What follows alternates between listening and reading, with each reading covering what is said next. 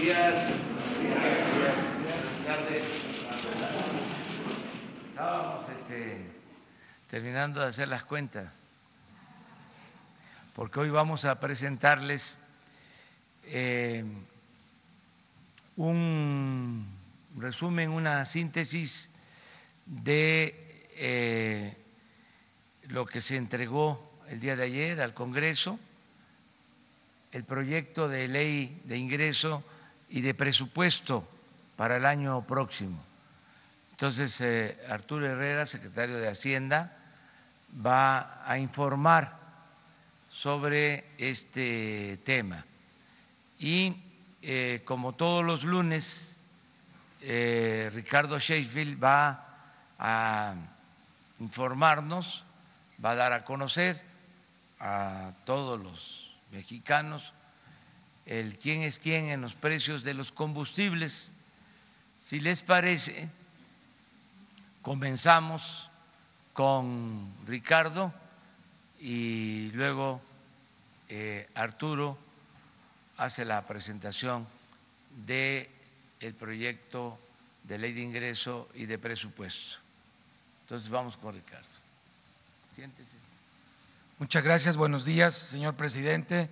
Buenos días a todas y a todos. ¿Quiénes quieren los precios de los combustibles? Iniciando por las gasolinas y tenemos en la gasolina regular el margen más alto con el precio más alto que lo encontramos en La Paz, Baja California Sur, Ralsi, con un margen de 3 pesos 31 centavos por litro y un precio al público de 21 pesos con 52 centavos por litro, mientras que el menor margen y el menor precio lo encontramos en Carvi Autoservicios, Centro Tabasco, un precio al público de 17 pesos con 89 centavos y un margen de 19 centavos. En el combustible premium tenemos petroleo SADCB en León, Guanajuato, que se mandaron con un precio al público de 21 pesos 99 centavos y que vemos que la raíz de, este precio alto está en los 3 pesos 57 centavos por litro de premium que están manejando como margen, mientras que autoservicios petroleros y comerciales del Golfo en Coatzacoalcos, Veracruz, con un margen de 44 centavos, tiene un precio al público de 18 pesos con 99 centavos por litro.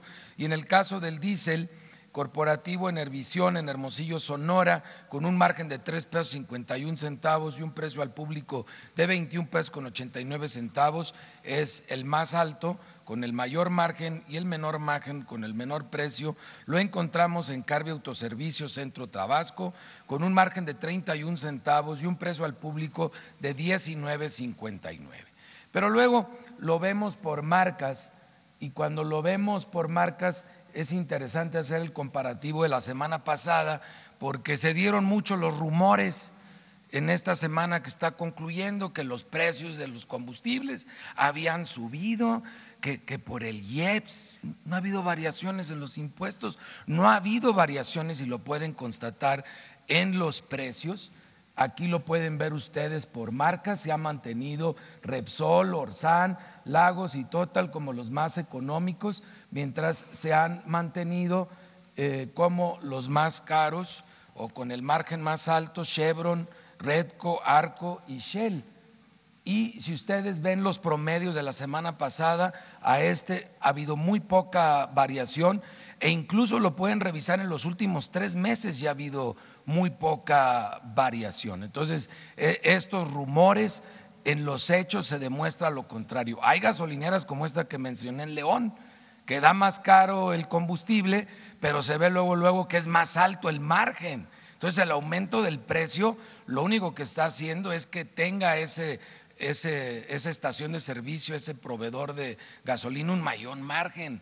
Entonces juegan con la, con la especulación, pero esos rumores no tienen ningún fundamento. E incluso haciendo el análisis de cuál fue el promedio del precio el último año de Cedillo, el primer año de Fox, el último año de, de Fox y el primer año de Calderón, el último año de Calderón, el primer año de Peña Nieto y el último año de Peña Nieto y este primer año del presidente Andrés Manuel López Obrador, se puede ver claramente que en todos estos cambios exenales las menores variaciones en los promedios de precio en las gasolinas lo ha tenido este año del presidente eh, Andrés Manuel López Obrador en comparación con el presidente Peña Nieto. Entonces, eso pues para, para, para demostrar con números y con hechos que no tiene ningún fundamento ese rumor que se soltó eh, a finales de, la semana pasada. Y en verificaciones verificamos 219 eh, estaciones de servicio y con visitas realizadas que corresponden a 795 denuncias presentadas en la app. Solamente una gasolinera no se permitió verificar y ocho tuvieron problemas de no dar litros completos. Son 15 bombas que, se inmovilizaron en la semana pasada. La que no se dejó verificar es de Matías Romero Avendaño, estado de Oaxaca, y la razón social es Roberto Ramírez eh, Guzmán, que lo estamos ya guardando para un operativo especial en fecha próxima. 96.207 descargas, tanto en el sistema Android como en el iOS, con buenos comentarios y buena retroalimentación por parte de los usuarios. Y en la app, que no tomamos en cuenta el margen, porque eso es para darnos cuenta quién abusa con el tema del margen, sino nada más el precio final al público. Tenemos que la más económica en regular la encontramos en Coatzacoalcos, Veracruz, a 17 pesos 59 centavos por litro, la más cara en Talpa de Allende, Jalisco, a 21 pesos con 80 centavos por litro. En Premium, la más económica, 18.96 en Aguadulce, Veracruz. Y la más cara, a 23 pesos con 9 centavos en Naucalpan, Estado de México. Para diésel, la más económica está en Coyuca de Benítez, Guerrero. Y a 19 pesos con 23 centavos y la más cara 23 pesos con 14 centavos por litro en Churumuco, Michoacán. Si nos vamos al gas LP, ¿quién es quién en el gas para tanques estacionarios? Tenemos que el margen más alto es de 4 pesos con 78 centavos, con un precio al público de 11 pesos con 7 centavos por litro y lo ofrece Grupo Centurión Combustibles en Zumpango, Estado de México mientras que el más económico con el menor margen, un margen de 2 pesos 29 centavos por litro, lo tiene Central de Abastos Tehuacán que varias veces a lo largo de este ejercicio de quién es quién en los precios ha salido como el más bajo en Santiago, Mihuatlán, Puebla, con un precio al público de 6 pesos 76 centavos por litro. Y en el caso del, del gas LP en cilindros, tenemos el margen más alto, bastante mandado, de 10 pesos 96 centavos por kilo, que lo tiene en Cozumel, Quintana Roo, gas del Caribe, con un precio al público de 20 pesos 56 centavos por kilo. Y en cilindros, en cilindros el más económico lo encontramos en gas Menjuc, Zacapu, Michoacán, con un margen de 5 pesos 49 centavos por kilo y un precio al público de 13 pesos con 74 centavos por kilo. Y en el caso de las verificaciones a las estaciones que expenden gas LP, verificamos 30 38 proveedores, 14 eh, salieron con infracciones, uno no se dejó verificar. De 223 básculas verificadas, inmovilizamos 11. De 19 eh, vehículos verificados, inmovilizamos 7. De 42 autotanques verificados, inmovilizamos 3. De 25 lotes verificados de cilindros, encontramos que 51 eh, tenían fallas, es el 4%, pero solo 31 fallas que ponen en riesgo al consumidor, que otra vez el porcentaje en esta semana es bastante bajo, del 2%. Muchas gracias.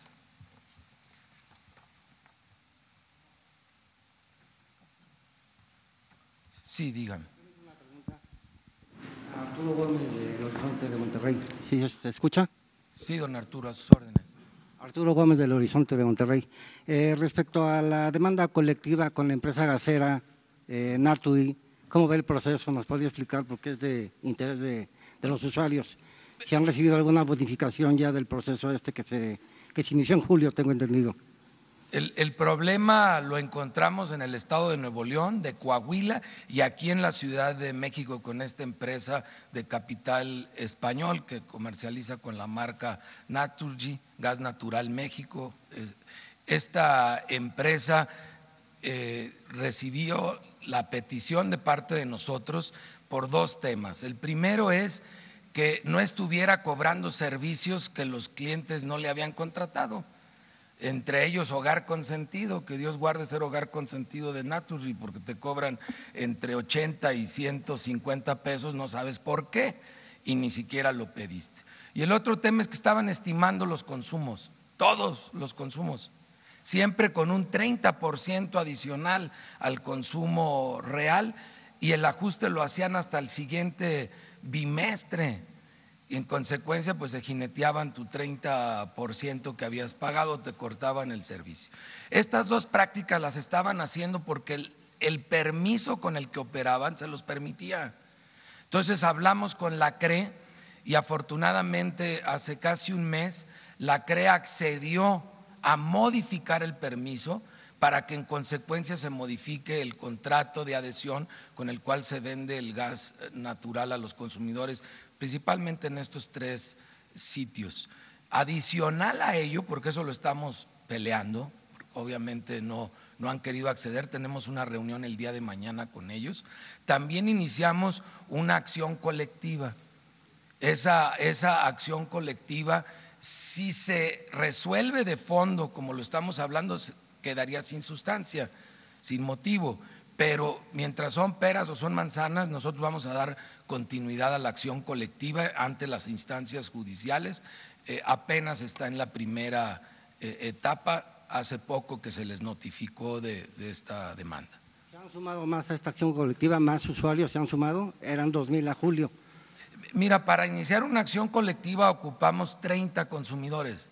La, verdad es que tenemos varios, varios cientos y la suma se da al final cuando se tiene ya la sentencia. Entonces no nos preocupa mucho que se sumen o no eh, más usuarios en este momento, nos preocupa que Naturgy se ponga las pilas y cumpla en vez de contender con las modificaciones que se hicieron para que deje de cobrar servicios adicionales y deje de estar estimando el consumo. ¿No ha habido ninguna bonificación a los usuarios hasta el momento? ¿Alguna bonificación a los usuarios de los cobros Son casos individuales, pero pues ahí no resolvemos que se le quita el catarro a tres, no, no se quita el catarro. Entonces lo que queremos nosotros es resolver de fondo. Sí ha habido compensaciones a varios miles de casos individuales, pero si continúa la práctica el siguiente mes, ¿qué ganamos? Hay que resolver de fondo el problema. Muchas gracias. Gracias a usted.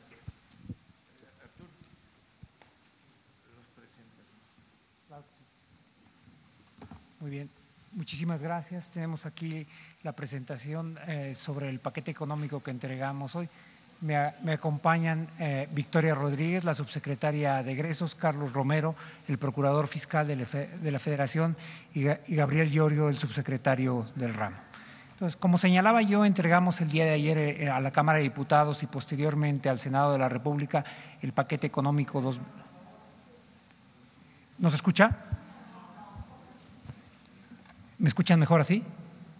¿No? ¿Sí? Ok, voy a hablar más fuerte.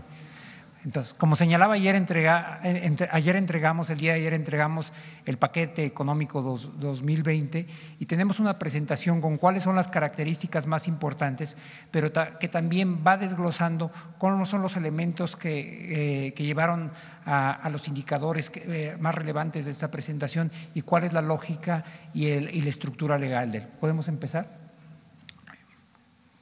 Primero vamos a empezar con cuáles son los eh, principios sobre los que se construyó el, paquete económico. El primer principio es, eh, queremos que el paquete eh, contribuya a la estabilidad macroeconómica del país y que genere certidumbre económica. El segundo principio es un principio de disciplina fiscal y de sostenibilidad de la deuda. La deuda había subido del 28% del PIB en el año 2004 al 49% del PIB en el año 2016. Es una deuda que necesita administrarse, controlarse y mantenerse en esos niveles. El tercer principio es el principio de austeridad republicana y el cuarto principio es el, principio relacionado con la parte de ingresos que tiene que ver con el fortalecimiento de la recaudación y el combate a la evasión. Después, ¿cuáles son los tres grandes objetivos que estamos tratando de abordar con este paquete? El primero es, tiene que ver con fortalecer el bienestar social, el empleo y el desarrollo para todos. El segundo tiene que ver eh, eh, con privilegiar en el presupuesto los recursos asociados para la seguridad y la paz para México y el tercero tiene que ver con la reactivación de Pemex. Eh, solamente para darles algunos números que pongan esto en contexto, en el año 2004, Pemex producía 3.4 millones de barriles por, por, día. A finales del año 2018 producía alrededor de 1.6 y tantos millones de barriles por día, lo cual quiere decir que en 14 años la producción prácticamente había caído a la mitad. Después, eh, eh, la, siguiente parte de esta lámina lo que tiene son los documentos que integran el paquete económico. El paquete económico está integrado por tres documentos los criterios generales de política económica que tienen eh, de manera destacada el marco macroeconómico y que permiten, es la base con la cual se hacen los cálculos tanto para la ley de ingresos como para el presupuesto. El segundo es la iniciativa de ley de ingresos de la Federación y el tercero es el proyecto de presupuesto de ingresos de la Federación. De manera paralela y en el mismo momento se entregan eh, la miscelánea fiscal. La miscelánea fiscal es el cuerpo de iniciativas que proponen reformas a los diversos instrumentos jurídicos, eh, pero que no forman parte del paquete. Ahora, ¿cuáles son las etapas para la aprobación presupuestal en el año 2020? Son seis etapas. La primera es la, entrega de precriterios al Congreso, que se realiza el primero de abril de cada año. La segunda es la entrega de la estructura programática a los diputados, que se realiza el 30 de junio de cada año. Finalmente, la entrega del paquete económico al Congreso, que como ya señalé son estos tres documentos, criterios generales de política económica, la iniciativa de ley de ingresos eh, de la Federación y el proyecto de presupuestos de egreso de la Federación. La Cámara de Diputados, que es, quien, es la Cámara de origen que recibe eso, tiene hasta el 20 de octubre para aprobar la ley de ingresos de la Federación. En ese momento la envía al Senado. El Senado tiene 11 días más y tiene hasta el 31 de octubre para aprobar la ley de ingresos de la Federación. Hay un tratamiento legislativo asimétrico con el paquete económico. La ley de ingresos de la Federación tiene que ser aprobado tanto por la Cámara como por el Senado. Una vez que la ley de ingresos de la Federación es aprobada, los diputados y únicamente los diputados aprueban el proyecto, el, presupuesto de ingresos de la Federación y tienen como fecha última el 15 de noviembre eh, eh, para aprobarlo. Eh, las tres primeras etapas ya fueron, ya fueron eh, concluidas eh, junto con la entrega del paquete el día de ayer al Congreso. ¿Cómo se construye el paquete económico? Y esto es, importante destacarlo. Nuestro país, junto con, algunos otros, no muchos, en América Latina, tiene un, un marco de aprobación y de diseño que permite garantizar la responsabilidad fiscal. La parte más importante son los supuestos macroeconómicos que vienen dentro del marco macro, que viene dentro de los criterios generales de política económica las diferentes variables que aparecen en el marco macro son las que nos permiten, eh, eh, son las que apoyan la memoria de cálculo para las diferentes variables. Por ejemplo, el primero de ellos es el crecimiento económico del PIB, que estamos estimado con un rango de entre 1.5 y 2.5. ¿Por qué es relevante esto? Bueno, entre, otras cosas, los ingresos son proporcionales a la actividad económica. Si, el, crecimiento es mayor, si el PIB es mayor, hay un mayor ingreso sobre la renta, hay un mayor IVA. El segundo es la inflación. En materia de inflación, nosotros siempre vamos con el pronóstico del Banco de México y por eso tenemos 3%. El cuarto, el cuarto y el quinto son el precio del petróleo y la producción de petróleo. El precio del petróleo resultó ser la variable más complicada de poder estimar de todo, de todo el marco macroeconómico. Hasta hace un mes, cuando teníamos prácticamente preparado el paquete, el precio del petróleo de la mezcla mexicana era de 55 dólares por barril.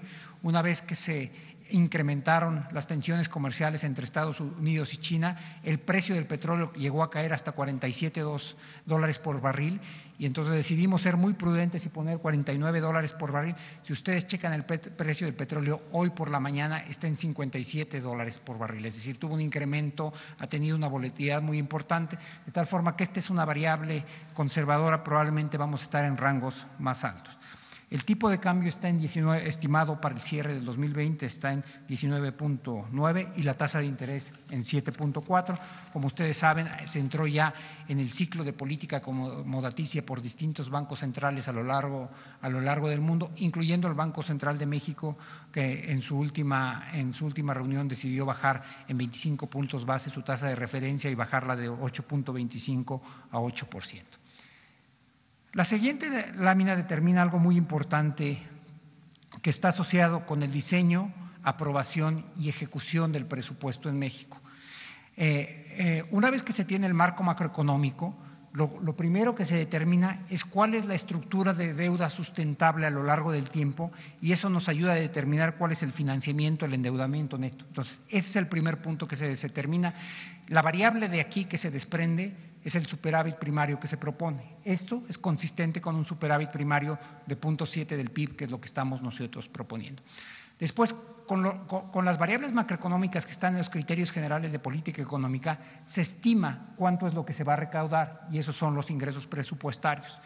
Y uno y dos nos dan el tamaño total de recursos de, los que posee el sector público mexicano para distribuir. Y es, una vez que se determina eso, que se, que, se, que se, estima cuál va a ser el gasto total del, del, del sector público mexicano.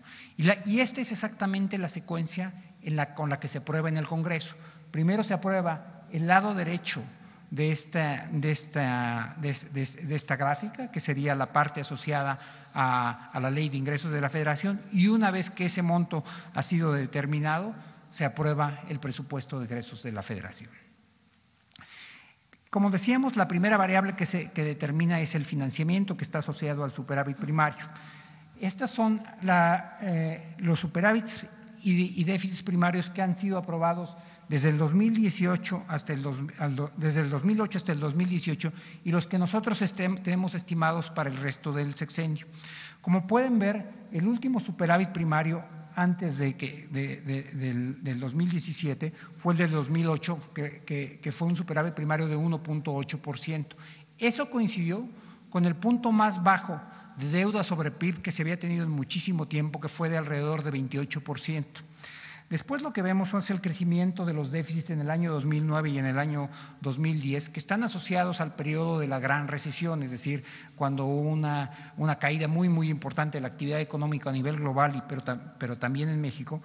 Pero esos déficits se, se, siguieron operando hasta el año 2016 y estos están asociados con un incremento de la deuda que llegó a 49% del PIB. Es decir, si nosotros midiéramos la deuda en el 2008 y la midiéramos en el 2016, hay una diferencia de 20 puntos porcentuales, eh, que son el equivalente hoy casi a, a 5 billones eh, de pesos.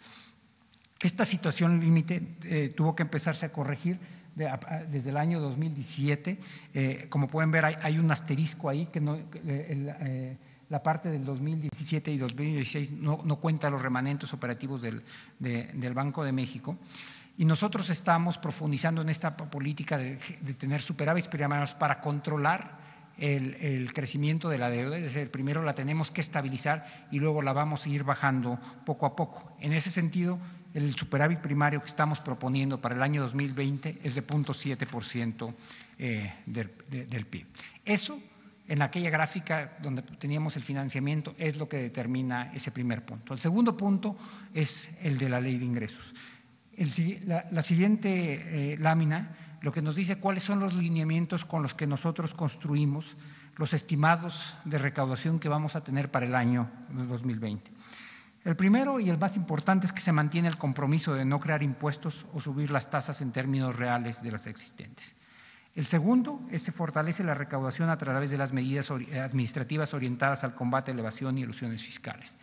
Eh, la, la, recaudación total de un país es la combinación de dos cosas, la política tributaria, que es la que nos determina qué podemos cobrar y cuáles son las tasas que están asociadas a ellas, y la eficiencia en la recaudación.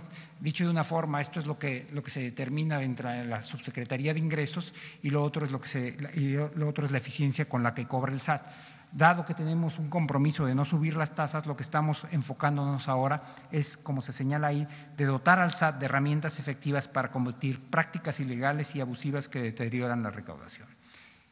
Asimismo, se proponen una serie de facilidades administrativas que generarán incentivos para un mayor cumplimiento voluntario de las personas y empresas en impuestos existentes como el IVA e ISR. Pasamos a la siguiente. Con esto tenemos estimado un, un total de ingresos que para el año 2020 ascienden a casi 6.1 billones de pesos. En la composición de estos, alrededor de 5.5 billones de pesos corresponden a ingresos eh, presupuestarios y 584 mil millones de pesos provienen de ingresos eh, eh, de financiamiento. Hay algunos rublos que, a mí me parece que son importantes destacar. Los ingresos presupuestarios, como ustedes pueden ver ahí, se pueden dividir entre ingresos petroleros e ingresos no petroleros. Eh, los ingresos petroleros representan alrededor de 987 mil millones de pesos, los ingresos no petroleros representan 4.5 billones de pesos. Hace tan solo algunos años prácticamente los ingresos petroleros representaban la mitad de los ingresos de todo el país. Esto tiene dos, esto eh, genera un par de reflexiones que me parece que son importantes. Una es que es importante fortalecer los ingresos petroleros, pero también la caída de, los ingresos no petroleros, pero también la caída de los ingresos petroleros eh, refleja el deterioro que ha habido en la capacidad de producción y exploración de Pemex y por qué es importante eh, apoyar a Pemex. La siguiente, la siguiente eh, lámina lo que, lo que ilustra son las distintas formas de leer el presupuesto. Hay, básicamente tres grandes clasificaciones presupuestales y cada una de ellas responde a una pregunta distinta. La primera es, si nos preguntáramos en qué se gasta, ahí tenemos la clasificación económica que distingue fundamentalmente entre, gasto corriente y gasto de capital. Ahí es donde veríamos cuánto se gasta en nómina, cuánto se gasta en subsidios, en transferencias, en inversión, etcétera. Podemos hacer una pregunta para ver el presupuesto desde otro ángulo que respondería a quién gasta.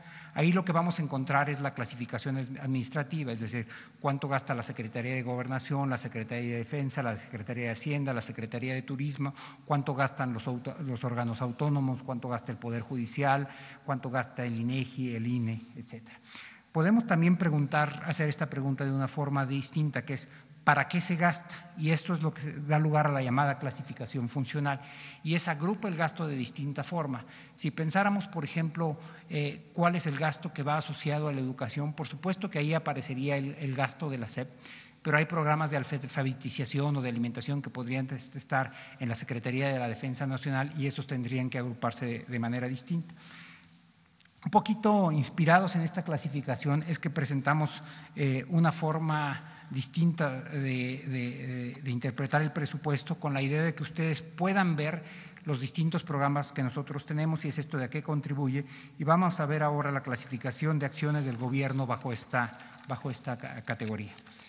Lo que vemos aquí es cómo clasificamos nosotros el presupuesto total, que son esos casi, como yo decía, 6.1 billones de pesos, de los cuales 4.3 billones son de gasto neto programable, es decir, la diferencia entre esos 4.3 billones de pesos y 6.96 millones de pesos está asociado fundamentalmente a participaciones que van a los estados y al, servicio de la deuda, que obviamente no tienen programa, son alrededor de 1.7 billones de pesos.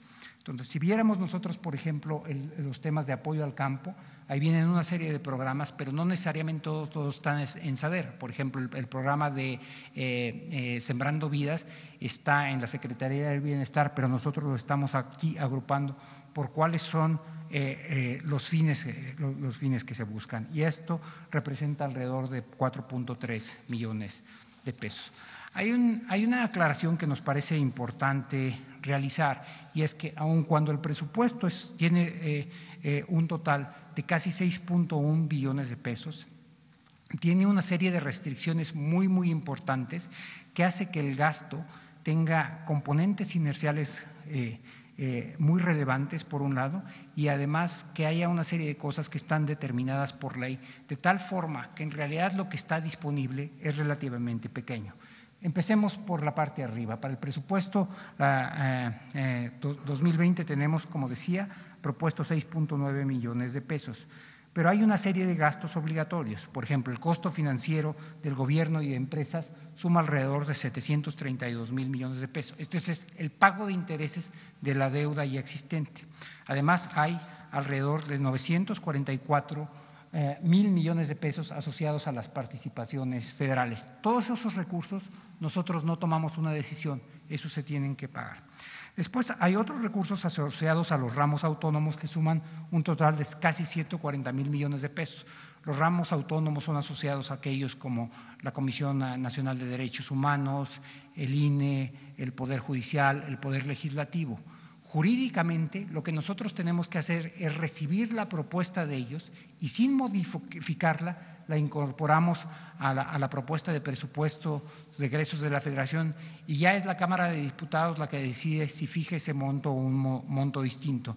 Pero en cualquier caso, ni nosotros decidimos el monto propuesto, ni nosotros lo aprobamos y tampoco tenemos eh, ninguna atribución en, manera eh, eh, en términos de la ejecución. Tenemos alrededor de 965 mil millones de pesos asociados a pensiones sobre los que tampoco hay alguna decisión. Este es el resultado de, los trabajadores mexicanos del Estado que ya se jubilaron y los que se están jubilando, sobre todo asociados al régimen, eh, al régimen eh, de jubilaciones anteriores. Y finalmente tenemos todo el gasto asociado a las entidades y empresas IMSS, ISTE, Pemex y CFE, ellos tienen fundamentalmente recursos propios por el, cobro de cuotas o el cobro asociado a la venta de, hidrocarburos o de electricidad y de generación y distribución en el caso de CFE. Y esos recursos nosotros no los vemos y representan un monto muy, muy importante. Está el, ramo 33 que tiene que ver con transferencias a las entidades eh, y las aportaciones eh, obligatorias a fideicomisos, prestaciones de seguridad. Una vez que quitamos todo esto, lo que sobra es la cifra que ven ahí, 1.1 billones de pesos. Esa cifra es solamente el 18% de todo el presupuesto. Es decir, el 82% de todo el presupuesto está más o menos fijo de una forma u otra, ya sea porque es para responder a obligaciones contraídas anteriormente, pueden ser obligaciones laborales como las pensiones, obligaciones financieras como el caso de los recursos eh, eh, destinados al pago del servicio de la deuda o porque son recursos que van ya sea a los órganos autónomos o a las entidades federativas. Y ese es el monto básicamente a través del cual el gobierno federal ejecuta sus diversos programas. Tenemos una serie de consideraciones finales, es una especie de, cuatro, cuadro, resumen. Lo primero es el qué buscamos con el paquete económico. El paquete económico se construyó bajo los principios de austeridad, disciplina fiscal y eficiencia tributaria. Segundo, se presenta un presupuesto realista sin subestimaciones de los ingresos ni el gasto. Durante un periodo muy largo, los ingresos fueron eh, subestimados de manera más o menos sistemática, de tal forma que siempre habría ingresos excedentes al final del año. El tercero es que en la implementación se buscará una ejecución oportuna, en particular en un contexto de aceleración global. Permítanme tomarme un minuto en este, en este sentido. Estamos muy, muy conscientes de que hay un proceso de aceleración de la economía en, diversas economías y también en la economía mexicana. Y eso requiere no solamente que, que, hagamos una distribución adecuada del presupuesto, sino que nos aseguremos de que se esté gastando con oportunidad para que tenga un impacto en la economía lo más pronto posible. Estamos también tratando de ampliar la, transparencia y el combate a la corrupción. Finalmente, lo que estamos tratando de hacer es, refrendar el compromiso de no incrementar los impuestos eh, existentes ni crear impuestos nuevos. En suma, el presupuesto 2020 se constituye en una plataforma para lograr el bienestar de todos y todas, privilegiando el gasto en bienestar, seguridad y el sector energético. Muchas gracias.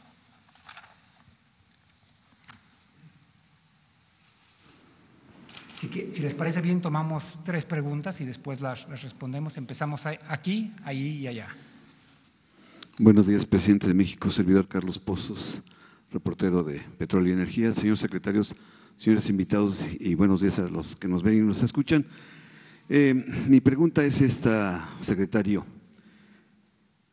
Una vez ya entregado formalmente este paquete, entiendo que tiene una iniciativa para modificar el código fiscal de la Federación a la Ley de Derechos y también eh, una iniciativa a la Ley de Ingresos sobre Hidrocarburos.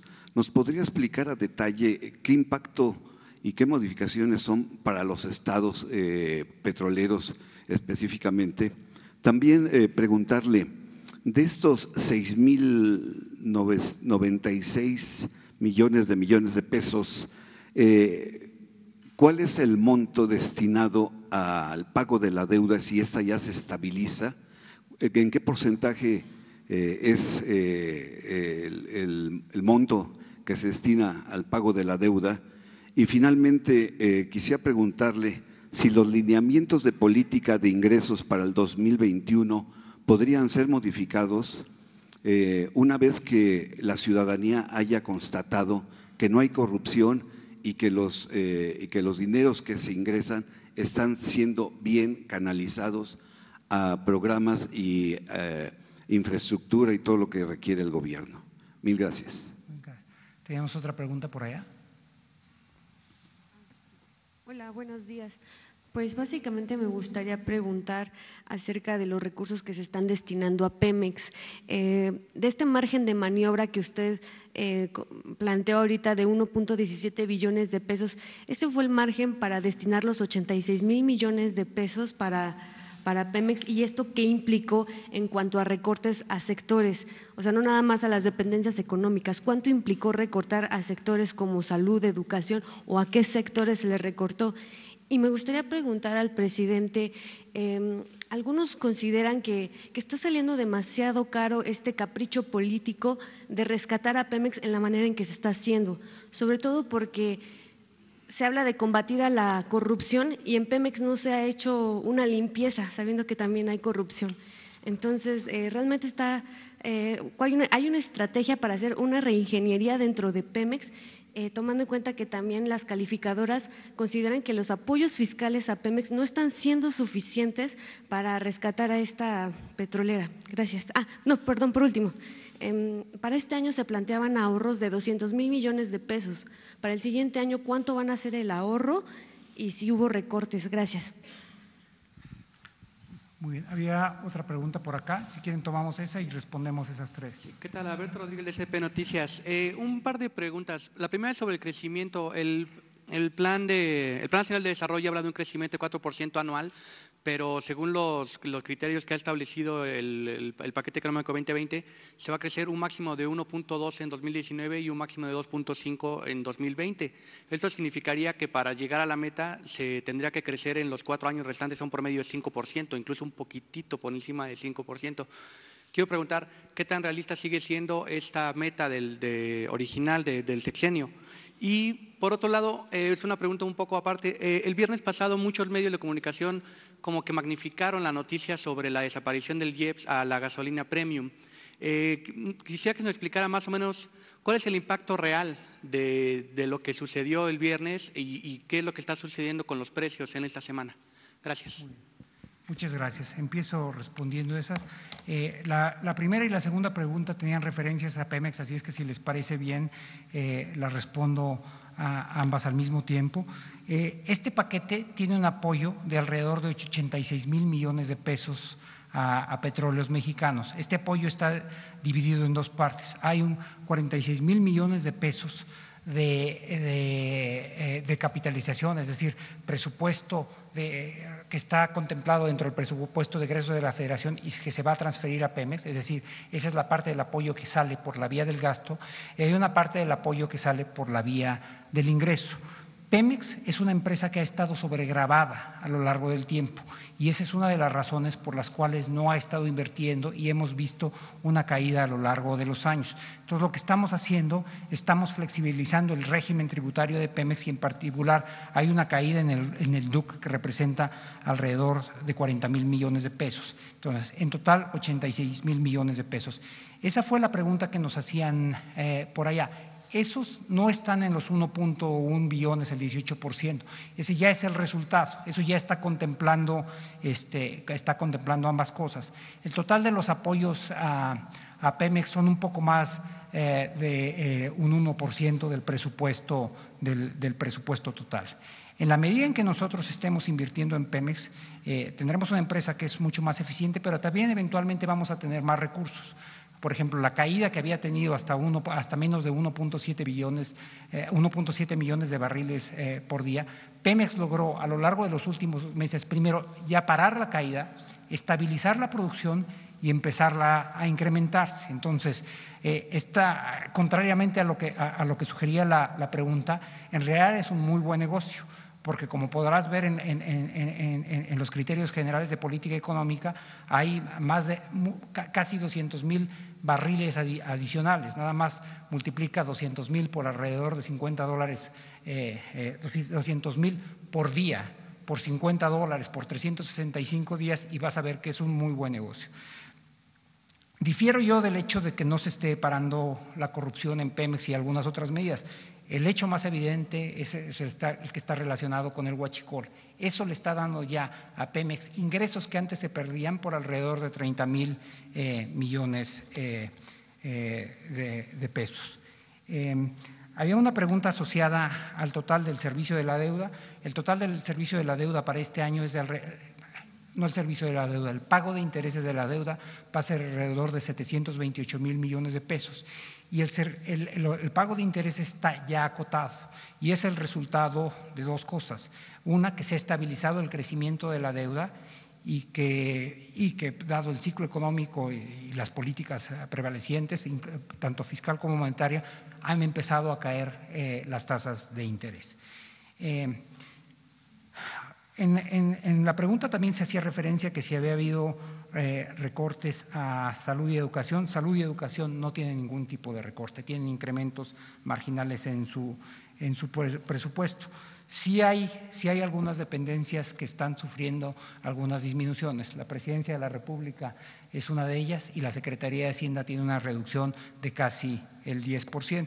Como todos los presupuestos, esto implica implica reacomodos. Por ejemplo, eh, es muy, muy claro dónde están nuestras prioridades. Nuestras prioridades es apoyar los programas de bienestar que tienen garantizado que puedan continuar en las mismas condiciones que habían venido realizando el año pasado. segundo es el presupuesto asociado a seguridad y hay un presupuesto para la Guardia Nacional de 56 mil millones de pesos. El presupuesto de la Guardia Nacional se encuentra en tres áreas distintas, en la Secretaría de Seguridad y en la Secretaría de Defensa y, de Marina. Y por último, eh, eh, eh, la serie de apoyos destinados a reactivar a Pemex. Finalmente, a Alberto, ¿verdad? Alberto hacía una referencia al crecimiento y la tasa de crecimiento promedio. La, economía, de México y la de cualquier país tiene, dos características muy, muy claras. Una, en general, tiene un crecimiento a lo largo del tiempo. Pero este crecimiento no es homogéneo, es un crecimiento ondulante, lo cual quiere decir que tenemos periodos de expansión y periodos en donde hay desaceleración. La forma más fácil de, verlo, el ejemplo más ilustrativo, es en el crecimiento, eh, en el periodo, por ejemplo, del presidente Cedillo. Empezó con una caída de 6.5% y acabó con un crecimiento que era del casi el 5%. Entonces, tiene estos periodos de expansión. La, la parte importante que tiene que ver con el crecimiento de largo plazo tiene que ver con la media. Esa media ha estado en alrededor de 2.4% desde 1993. Eso es lo que tenemos que cambiar. Y hay una serie de políticas que nosotros estamos empezando a, operar en, ello. Hay políticas de largo plazo, por ejemplo, asociadas a, los programas de bienestar que permiten aumentar el capital humano, o las, todas las políticas de inversión en el sur del país, que es la parte del país que menos crece. Pero hay también otro tipo de políticas que explican por qué el país no ha venido creciendo. Una, estamos, tenemos una tasa de inversión pública relativamente baja y eso estamos cambiando y en particular con la inversión en el sector energético. Segundo, tenemos un sector financiero relativamente delgado. México es un país donde un número importante de las transacciones se liquidan en efectivo. Eso lo estamos cambiando y ya pusimos una serie de decretos y hay una serie de iniciativas que están por aprobarse en la Cámara de Diputados que están cambiando el régimen de inversión de las AFORES, quién puede abrir cuentas bancarias. Eh, en, algún decreto estamos apoyando eh, la, salida de empresas a bolsa, etcétera. Eh, hay un cuarto más que tiene que ver con la recaudación. Nosotros tenemos una recaudación de solamente el 13% del PIB. En la miscelánea fiscal van instrumentos muy importantes para que pueda eh, recaudar más el SAT, asociado a una serie de, iniciativas que ya están en el Congreso. Una la que va a prohibir las condonaciones y otra que va a, dirigir a las empresas fantasmas y la facturación eh, eh, falsa. creo que esas eran las preguntas que había. Ah, sí, no, no, no, los lineamientos es lo que determinan cómo construimos nosotros la ley de ingresos, no, no, eh, no, no son parte del, del, aparato jurídico. Lo que nosotros sí creemos, y es algo que le vamos a apostar, y es muy importante en ese sentido su pregunta, la recaudación, la recaudación adicional tiene tres principios sobre los que nosotros estamos construyendo los estimados. Uno, dotar de instrumentos al SAT que antes no tenía. Segundo, mejorar operativamente al SAT en su funcionamiento interno. Y el tercero, el que usted señalaba, en la que, medida que nosotros podamos disminuir eh, y mitigar los riesgos de corrupción en el país, pero además ser muchísimo más transparente en si de dónde va el destino de los, recursos del gasto, los mexicanos se sentirán cada vez más cómodos en que sus impuestos se están traduciendo en bienes y servicios específicos. Eh, a ver si quieren una pregunta ahí, otra allá y una aquí. Buenos días. Pedro Hernández del periódico Ángel Metropolitano y El Día.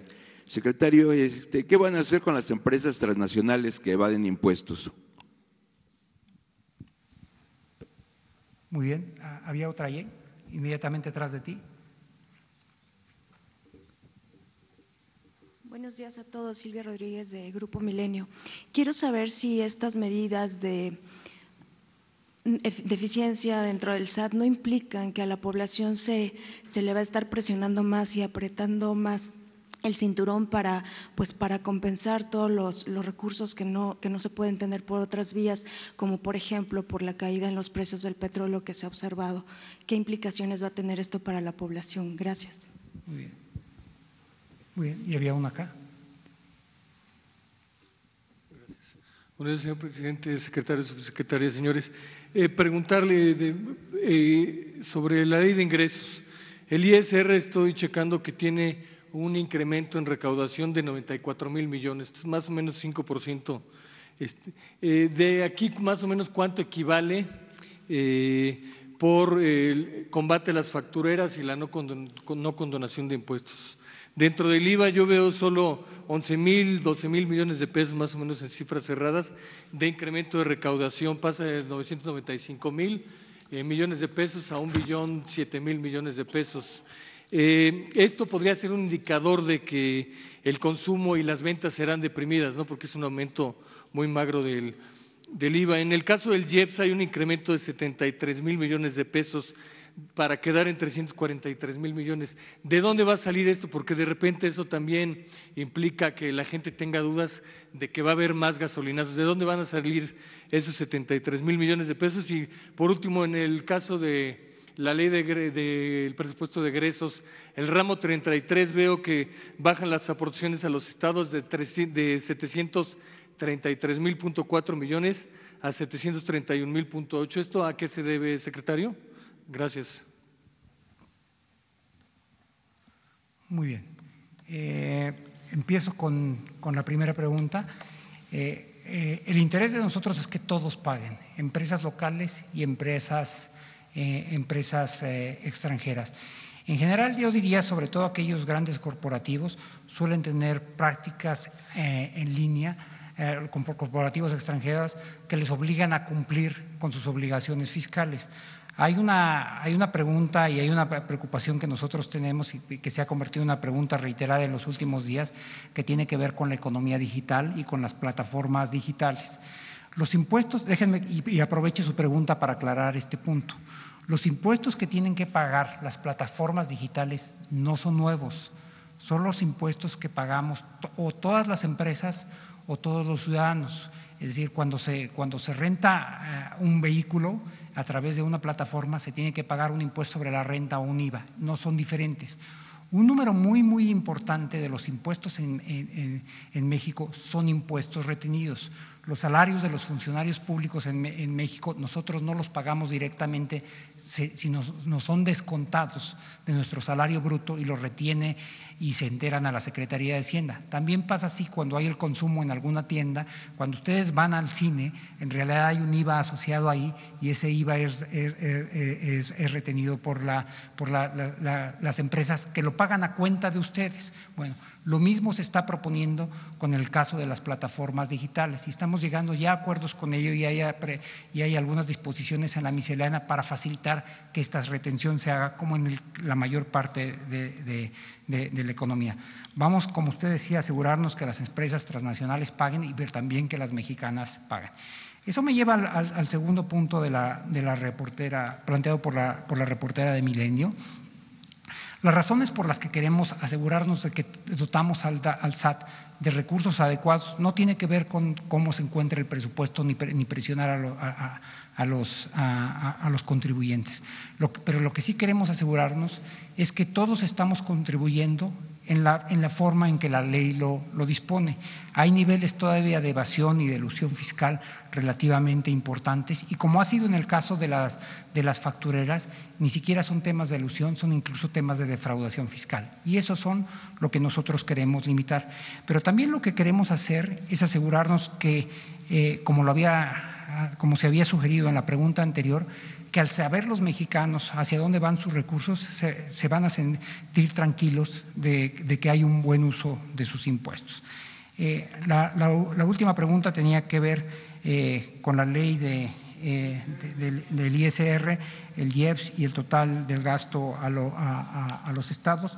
hay alrededor de uno, un poco más de 1.7 billones de pesos de gasto federalizado. El gasto federalizado va asociado a, distintas, a distintos rubros, algunos rubros están asociados a participaciones federales, a fondos, etcétera.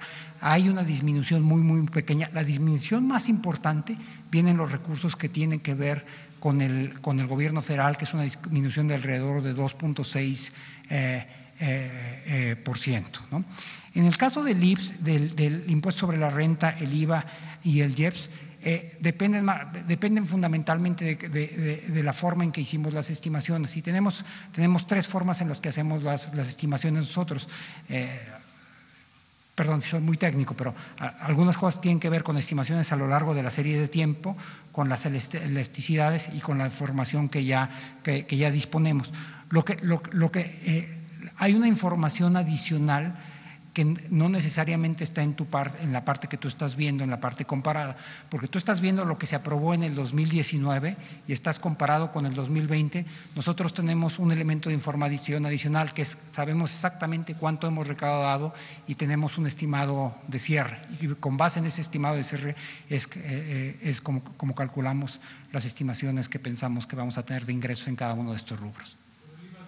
2% de incremento quiere decir que, que, no va a haber mayor consumo, ¿no? Esa es la no, no, no, no, no. Tiene, ¿no? No, no, no, el consumo es proporcional al crecimiento y como viste traemos un crecimiento promedio de alrededor de 2%. ¿Les parece bien si tomamos tres preguntas más? Empezamos allá, allá y una más acá. Buenos días. Buenos días. A mí me gustaría saber, la parte del crecimiento, se, habla, se habla de que se va a ver un programa especial para impulsar el crecimiento y la productividad en las empresas. ¿Eso de qué se va a tratar y cómo se va a beneficiar? Porque ahorita eh, las proyecciones que nosotros estamos viendo son crecimientos que de alguna manera no están muy creíbles para los analistas y estaban diciendo que Hacienda estaba presentando eh, cifras que presentaban una realidad.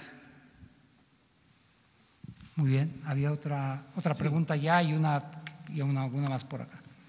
Muchas gracias, secretario Estefanía Ochoa de ADN 40. Saber, eh, si me puede responder el presidente, ante este contexto internacional, ¿cuál es el factor que será necesario para alcanzar el crecimiento de hasta el 2.5%? Y también saber si con este presupuesto se garantiza que no se baje la deuda tanto para Pemex como la soberana. Gracias. Sí. Aquí alguna pregunta. El Ejecutivo Federal ofreció en tiempos de campaña que a través del combate a la corrupción se podrían recaudar 900 mil millones de pesos anuales. ¿Cómo se ha avanzado en ese sentido? ¿Qué hay respecto a las reglas de operación que también causan parálisis y subejercicio en la administración pública? Y finalmente, eh, ¿cuál es la política de Hacienda frente a las demandas de los alcaldes y gobernadores para crear un nuevo pacto, un nuevo federalismo hacendario, señor secretario? Muy bien. Eh, eh, si quieren, empiezo con, con, un par de las preguntas que hacían referencia a los temas de crecimiento. Hay una serie de variables que para nosotros son importantes, además de las que ya se presentaron en los criterios generales de política económica. Una variable central, y está explícitamente abordada en los criterios generales, y es de particular relevancia en un contexto de deceleración global y de conflictos comerciales, es la aprobación del tratado, del nuevo Tratado de Libre Comercio, del TEMEC. Eh, los conflictos comerciales han tenido efectos negativos en todas las economías y también en la nuestra, pero también han, generado oportunidades. Eh, México se convirtió, y no lo era desde el 2003, ya en el principal socio comercial de Estados Unidos. Nosotros estamos previendo que los conflictos comerciales, y en eso coinciden con la mayor parte de los analistas, son un asunto más de fondo y de largo plazo y no algo que se va a resolver en los próximos meses, lo cual quiere decir que va a tener que haber una reconfiguración de las cadenas internacionales de valor. Uno de los posibles destinos en esa reconfiguración es México, al ser el país destino de Estados Unidos. Ya lo estamos viendo, pero para que se, se, manifieste de manera más fuerte, lo, lo, que necesitamos es que el Tratado de Libre Comercio sea aprobado. México ya hizo su parte, el tratado fue firmado el último día de noviembre del año pasado y fue ratificado ya por el Senado de Estados Unidos. Nosotros estamos dándole seguimiento a todo el proceso de manera puntual. Eh, yo he hablado tanto como mis pares de Canadá como de Estados Unidos. El, mi par canadiense está seguro de que ellos tienen los votos para, para ratificarlo en cualquier momento. Y ya hemos estado recibiendo a lo largo de las últimas semanas diversas delegaciones eh, del Congreso de Estados Unidos que están pidiendo información de eso. No es algo hecho, pero nos sentimos muy, muy optimistas de que puede ser firmado en los próximos meses y eso sí pondría en una trayectoria distinta a México. Ese es uno, uno, de los primeros temas por los cuales presentamos una tasa de crecimiento de este tamaño. Hay un tema adicional que tiene que ver con qué podemos hacer nosotros en el ciclo para asegurarnos que hay un avance mayor de la economía. Una de las cosas que nosotros hemos, hemos, anunciado, y de hecho yo lo mencioné ayer cuando presenté el paquete en la Cámara de Diputados, es que estamos, diputados, estamos preparando un paquete de alrededor de 100 mil millones de pesos con, de gasto del 2020 que vamos a licitar ahora. Es decir, nosotros no podemos e, empezar a gastar, ni a pagar, ni a recibir bienes, sino después de enero, del primero de enero del 2020 pero no hay nada que nos prohíba ir adelantando esas licitaciones, porque ya sabemos que hay un mínimo de ciertos rubros en los que vamos a ir gastando. ¿Qué es lo que está buscando eso? Si nosotros licitáramos una actividad A y en octubre hay, un, hay, hay, algún contratista que tiene un contrato para empezar a proveer eh, ese, ese, bien o servicio a partir del primero de enero del 2020, nosotros no vamos a gastar sino hasta el año que entra, pero ese contratista sí va a estar contratando trabajadores, va a estar comprando maquinaria y equipo, va a estar buscando créditos financieros, etcétera. Entonces, lo que, lo que esto se va a traducir es que vamos a estar buscando que el presupuesto del 2020 tenga un impacto económico ya desde el 2020 eh, desde el 2019. Eh, eh, es, y me parece que esa era la misma pregunta de la gente de ADN, ADN 40. Había una pregunta más con relación al combate a la, a la deuda. ¿A, la calificación? Sí. sí. este presupuesto garantizará que no se baje la calificación para Pemex y también para la deuda soberana. Bueno, no es nada más el presupuesto, ¿no? Eh, la, de, la, deuda tiene, la calificación de la deuda tiene que ver con una serie de características. Una es el tamaño de la deuda, y, esto, y, la, y claramente la estamos acotando. Eh, eh, dos, eh, con el perfil de la deuda, es decir, si tienes al mismo tamaño de deuda, si tienes vencimientos muy cercanos, eso pone en riesgo. Y nosotros hemos venido, sobre todo en el caso de la deuda soberana, haciendo unas operaciones de manejo de pasivos que han sido muy exitosas. Te recuerdo algunas de ellas. Emitimos en enero un bono de alrededor de 2 mil millones de dólares en el mercado de Nueva York. Después emitimos en el mes de marzo, si mal no recuerdo, 2.5 millones de euros, después emitimos en el, en el, mercado Samurai, en el bono de, en el mercado japonés alrededor del equivalente a 1.5 mil millones eh, de dólares. La semana pasada, fue la semana pasada que hicimos esta operación de canje por alrededor, si mal no recuerdo, 65 mil millones de pesos, donde cambiamos alrededor de 50 y tantos mil millones de pesos que se nos vencían en el 2020 por plazos muchísimo mayores. Por el lado de Pemex, Pemex, como ya decía, tiene además que ver la parte de dónde vienen sus ingresos. Sus ingresos dependen de si están produciendo o no petróleo. La, caída que había en la producción ya fue frenada, ya se estabilizó y ya empezó a crecer. Y seguimos trabajando con ellos en ver cómo podemos mejorar el perfil de, la deuda de Pemex. Y la última pregunta tenía que ver que plantean alcaldes y si a través de sus demandas en la Secretaría de Gobernación, como ocurrió hace 15 días, Hacienda estaría en condición de flexibilizar su postura draconiana frente a demandas de alcaldes y gobernadores porque ellos consideran que es inequitativo la entrega de recursos a municipios. Bueno, no, yo, yo, no sé si es inequitativo o no. La entrega para estados y municipios es por ley, ni siquiera lo determinamos nosotros. Esto está en la ley de coordinación fiscal. La ley de coordinación fiscal determina cuál es el monto que se que, se, que, se, que, se, que, que, existe para distribuir y las reglas. De hecho, si usted revisa la ley de coordinación fiscal, tiene fórmulas matemáticas precisas. No hay discrecionalidad de Hacienda en ese sentido. Lo que sí había discrecionalidad antes era en el llamado ramo 23, donde, donde, donde había distribuciones a las entidades y algunos municipios que podían ser asociadas a negociaciones de carácter político, a las coyunturas específicas. Eso no existe. Lo que, eh, lo, que cada uno de los tres niveles tiene que hacer es buscar cuál, cuáles son los mecanismos a través de los cuales tienen que fortalecer sus diferentes fuentes de financiamiento. El gobierno federal, y esto es muy importante, en un, en un, país de carácter federal, cada uno de los distintos niveles va determinando esto. Nosotros lo que hemos determinado es estar buscando eficientar la recaudación sin subir, la, sin subir y sin cambiarla, sin subir los impuestos y cambiar la estructura tributaria. Pero todos y cada uno de los, de los pesos que le, que, le corresponde a, las, a, la, a, los estados está, y a los municipios están determinados en la ley de coordinación fiscal. Quisiera hacer, pero aprovechando su, su, su pregunta, hacer eh, dos, dos comentarios muy específicos. El gasto del gobierno federal no es un gasto en abstracto.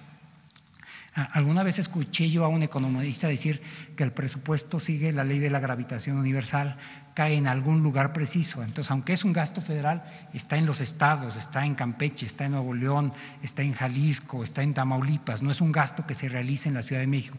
Se está realizando en estados y en municipios específicos.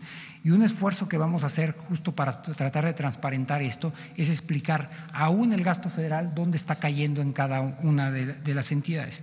Al margen de eso, si hay un compromiso que es más o menos público del presidente con los gobernadores de apoyarles en algunas obras específicas que los propios gobernadores están determinando. Algunas son obras carreteras, otras son de agua, etcétera. Y esas, por supuesto, nosotros vamos a ver cómo las metemos en el presupuesto. Eh, hacemos un par de preguntas más. Eh, creo que aquí y allá, porque tengo un sesgo a la izquierda. Buenos días. Shaila Rosagel, eh, corresponsal de Grupo Gili, El Imparcial de Sonora, La Crónica y Frontera de Tijuana. Ahorita eh, usted concluyó con, eh, hablando sobre las, las, obras o megaproyectos. En junio eh, recordamos que se anunció que se estaba trabajando con los gobernadores para apoyar eh, determinados proyectos en los estados en cada entidad, ¿no? Eh, ¿Cuáles son las obras más eh, trascendentes que le presentaron los gobernadores y en específico qué proyectos se consideraron de Sonora y Baja California? Eh, no sé si lo traiga usted o el presidente. De acuerdo al informado, seguridad está entre los rubros prioritarios en el presupuesto del año próximo. Eh, ¿Cuál es el monto total que se propone y en qué renglo, renglones más importantes se destinará? Ahorita hablaba de la Guardia Nacional. Eh, ¿Cuál es el compromiso respecto a este, eh, a este recurso para seguridad? ¿Cuál es el compromiso en concreto eh, de resultados, o sea, para dar resultados en este tema? ¿Y cuál es la recaudación estimada que espera recibir Hacienda con la aplicación de impuestos a las plataformas de comercio y servicio electrónico? Si tienen una estimación estimada de recaudación y se, se, han acercado a las empresas, ¿cuál es la postura de estas empresas? O ¿qué, ¿Qué les han dicho? Muchas gracias.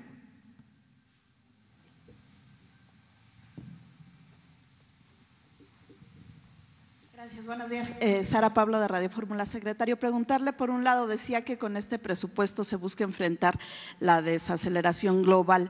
¿Cuánto se invierte en infraestructura? ¿Qué porcentaje? Y hablaba el presidente la otra vez de un programa nacional de infraestructura de 1.600 proyectos que se trabajaba con la iniciativa privada. Eh, entiendo que habría capital privado y público. Si ya se están considerando estos proyectos, porque para los empresarios parece eh, eran importantes para poder eh, detonar esta inversión masiva de la iniciativa privada, ¿qué tanto se está destinando para estos proyectos en infraestructura? Y nada más del presupuesto para los gobernadores, bueno, para los gobiernos estatales, de manera global, ¿cuánto se disminuye o se incrementa? Gracias. Muy bien empiezo con la pregunta de, Sonora eh, y con la respuesta de Sonora. El, proyecto que eligió la gobernadora de Sonora es un hospital, si, no mal, no, recuerdo, es un, hospital. De hecho, nos reunimos eh, con ella el viernes pasado. Este, sirve y, no es nada no es ningún secreto. Hemos tenido reuniones con los gobernadores a lo largo de las últimas semanas el jueves pasado nos reunimos con los gobernadores del PRI, el miércoles pasado nos reunimos con los gobernadores del PAN. Algunos gobiernos como el de Sonora, como el de su estado, ya tienen determinados cuáles son los proyectos. Algunos otros gobiernos, por ejemplo, como el de Hidalgo, también lo tiene y, de hecho es un proyecto que ya se venía ah, haciendo, que es el proyecto que va de la carretera de Pachuca a, Huejutla. La mayor parte de estos proyectos son de largo alcance, van a tardar algunos años, algunos se acaban más pronto que, que otros, pero sí hay un número importante de proyectos que están todavía definiendo los gobernadores. Nosotros vamos a trabajar con ellos para asegurarnos de que el proyecto que ellos están proponiendo es técnicamente factible y que, que le vamos a dar suficientes eh, recursos. Eh, la segunda parte de, eh, o la segunda pregunta tenía que ver con, perdón, ah, con seguridad. Y ahí, como señalé, el rubro más importante es el que va para la Guardia Nacional, son 56 mil millones de pesos y déjenme volver a subrayar eh, algo. Los 56 mil millones de pesos están divididos en tres secretarías, en la Secretaría de Seguridad, en la Secretaría de Defensa y en la Secretaría eh, de, Marina. Eh, y finalmente había una pregunta que tenía que ver con la recaudación de lo que se espera de las plataformas digitales. Vamos a ir viendo cuánto vamos a recaudando. Van a ser algunos miles de millones de pesos. Pero hay una razón que sobre todo, hay dos razones que nos motivan a tratar de asegurarnos de que todo mundo, incluyendo las plataformas eh, digitales, están cumpliendo con el marco tributario. La primera es que aun cuando es un sector relativamente pequeño, es el sector que más está creciendo. Hoy ya representa el 5% del PIB. Este, pero si vemos las, las, tendencias en el resto de los países, eh, cada vez eh, se utilizan más para, para, cuestiones de entretenimiento, de noticias, etcétera, de transporte. Entonces, es un sector que está creciendo más o menos como entre el 10 y el 11%. Entonces, necesitamos asegurarnos que, tiene, que tenemos un marco de recaudación adecuado con ellos, no solamente por lo que tiene que pagar hoy, sino porque se espera que en el futuro todavía sea más, más relevante. Después, proyecto de Baja California, si tienen ya, bueno, ¿qué les propusieron? Eh, Baja California, el gobierno le quedan unas cuantas semanas, es que supongo que más bien lo va a proponer el gobernador entrante. Eh, después Sara, Sara Pablo hacía, hacía, referencia a los temas de, desaceleración y si el proyecto atendía a la desaceleración. Hay tres, hay tres eh, elementos asociados a ellos, dos que van en el paquete y uno que no va en, el paquete. Los que van en el paquete es la, parte de recursos al bienestar, que es la primera que nosotros estamos garantizando, tiene un impacto directo en el consumo. Los programas de bienestar eh, van fundamentalmente orientados a la, a, la, base de la pirámide de, ingresos. La base de la pirámide de ingresos tiene una propensión marginal al consumo muy alta, quiere decir que entre que reciben eh, sus recursos y que, y que estos se traducen en consumo, pasa muy, muy corto tiempo y hay una parte muy, muy alta de esos que se dedica, que se dedica al consumo. Lo segundo tiene que ver con los recursos asociados a la inversión, que como yo había señalado, eh, la, inversión eh, eh, pública llegó a 2.9% del PRIB en el 2018, la estamos creciendo poco a poco a partir de ahí, pero no todos los recursos, no toda la inversión pública se está dando completamente con recursos del gobierno federal. Hay algunos que tienen que ver con inversiones mixtas con los estados o con las acciones públicas privadas. por ejemplo, el eh, la construcción eh, tanto de la, de la, línea 2 del metro en Guadalajara como del peribús en Guadalajara fue una combinación de recursos entre el gobierno federal y el gobierno, y el gobierno de Jalisco. Por ejemplo, en el Peribús nosotros estamos poniendo alrededor de 2 mil millones de dólares y ellos van a poner otros 4 mil millones de dólares. De, todas, de tal forma, de pesos, perdón, de tal forma que lo que nosotros eh, entre 20, de tal forma que, que, lo que nosotros estamos poniendo detona tres veces más. Otro es, por ejemplo, algo que ya anunciamos con la Secretaría de Comunicaciones y Transportes, donde estamos desdoblando seis, seis concesiones carreteras. ¿Qué quiere decir esto? Que alargamos el plazo de la concesión y contra el aumento en el tiempo de la concesión, ellas están haciendo inversiones adicionales. Las inversiones asociadas a, a esas concesiones son de 18 mil millones de pesos.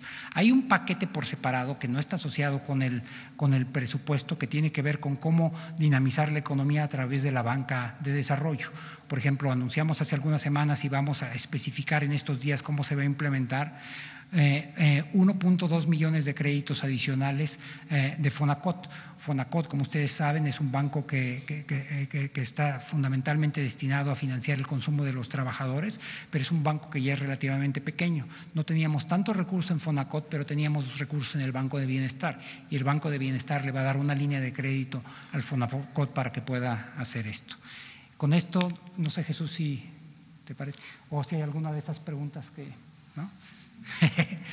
Hacemos tres, tres más, ahora dos en la derecha y una en la izquierda para un balance ideológico aquí.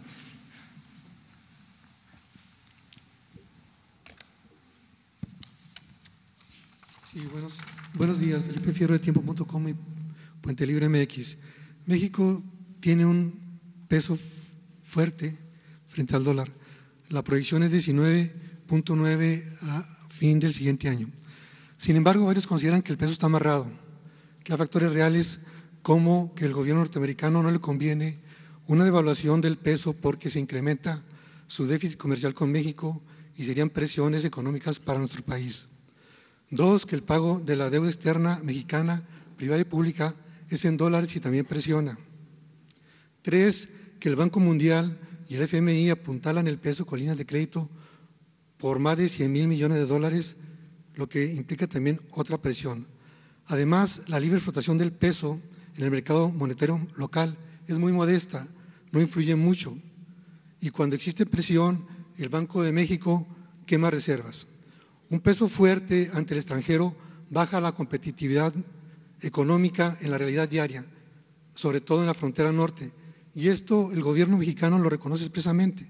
Tan es así que desde hace varios años tiene programas compensatorios en esta zona, entre otras, ahorita el IVA a la mitad de precio, reducción del ICR al 20%, gasolinas, gas más baratos, zonas de excepción fiscal.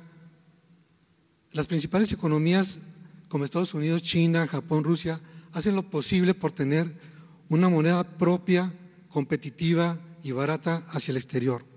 La pregunta concreta es, ¿qué tanto está amarrado el peso para que no se devalúe? Y si hay alguna intención de armonizar esta distorsión entre la economía de la frontera norte y el resto del país.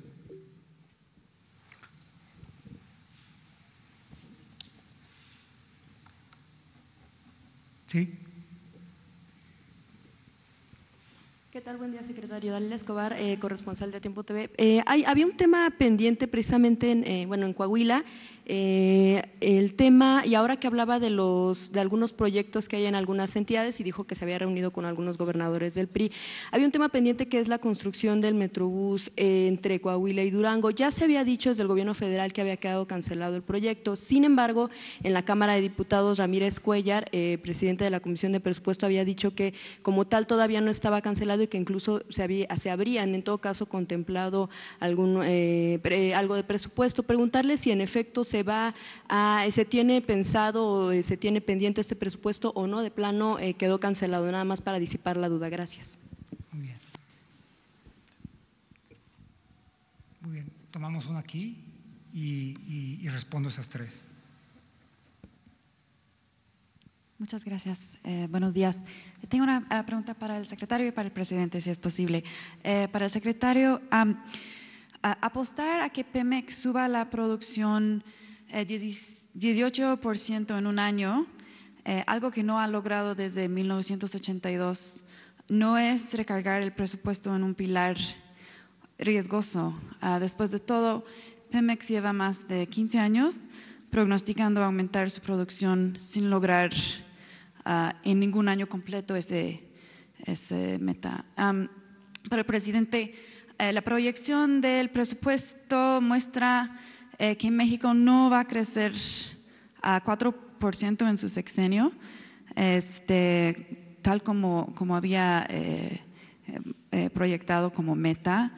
¿Qué le falta? ¿Por qué no se puede crecer a ese ritmo? ¿Qué es lo que falta a la economía para que eso sucede?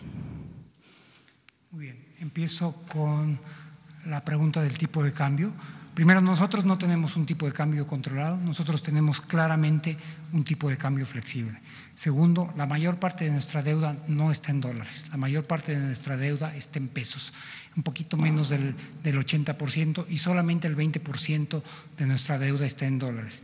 Tercero, la deuda no solamente no está en pesos, sino que no solamente no está en dólares, sino que tanto la deuda que está en, pesos como en dólares, en el 80% está a tasa fija, de tal forma que, los, que los riesgos de tipo de cambio y de tasa de interés están extraordinariamente acotados. No fue así en los 80 y no fue así en el año 95, pero esto ha venido cambiando de manera, de, de manera ah, de manera radical desde, desde, desde, desde ese tiempo.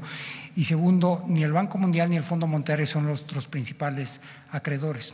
Si era así en los 80, si era así en el 95, las, primeras, las principales fue...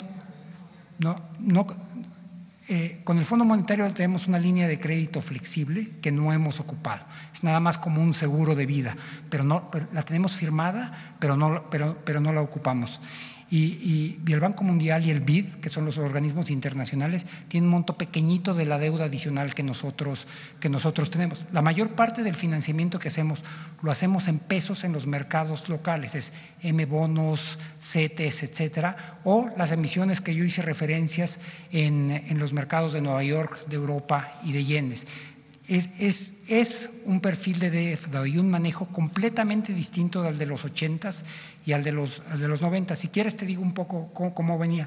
A finales de los 70 y hacia los 82, la, la mayor parte de la deuda era en dólares y era bancaria, es decir, se tenía con bancos comerciales. Después, hacia el 95, la deuda sí era en bonos, pero estaba fundamentalmente en dólares, estaba a tasas flexibles y era de corto plazo. La deuda hoy que tenemos es fundamentalmente en los mercados de bonos aquí y en los mercados de bonos internacionales, es fundamentalmente en pesos y está a tasas, a, tasas fijas. Lo que sí, lo que sí influye fue, fue su, primera, su primera aseveración, que es eh, curiosamente, aún cuando, cuando, Estados Unidos a, través de su ejecutivo se ha venido quejando del, tratamiento comercial, en la medida eh, eh, en que las tensiones comerciales o incluso las declaraciones se han venido endureciendo, lo que esto se traduce es lo que en, en, términos técnicos en inglés llaman un flight to quality, es decir, los fondos se van a los bonos de alta calidad. Esos bonos fundamentalmente son los del gobierno de Estados Unidos a nivel internacional y lo que hace es fortalece al dólar. Eh, Eh, la última declaración que, hubo con relación a los temas de los conflictos internacionales de Estados Unidos con China a principios de agosto se tradujo en que el peso pasara de un nivel de 19 eh, pesos por dólar a inicios de agosto a 19.7. Pero tiene que ver incluso estas cosas con contexto internacional más que con una intervención de las autoridades financieras mexicanas. En el tema de la pregunta de Coahuila, que fue, que fue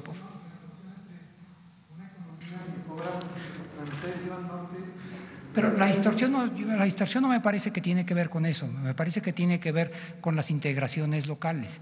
Es decir, la economía de Tijuana está muchísimo más ligada a la economía de San Diego y la economía de Ciudad Juárez está muchísimo más ligada a la economía del, Paso, que y al revés también, ¿eh? la economía de San Diego y del Paso con, las de, con, con, la de, con, la de, Tijuana y de Ciudad Juárez.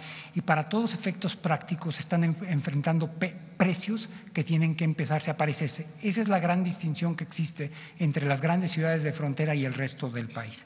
Paso ahora con la pregunta que tiene que ver con Coahuila. Primero el Metrobús sí se está construyendo, el Metrobús pasa de ambos lados en, la zona de la laguna.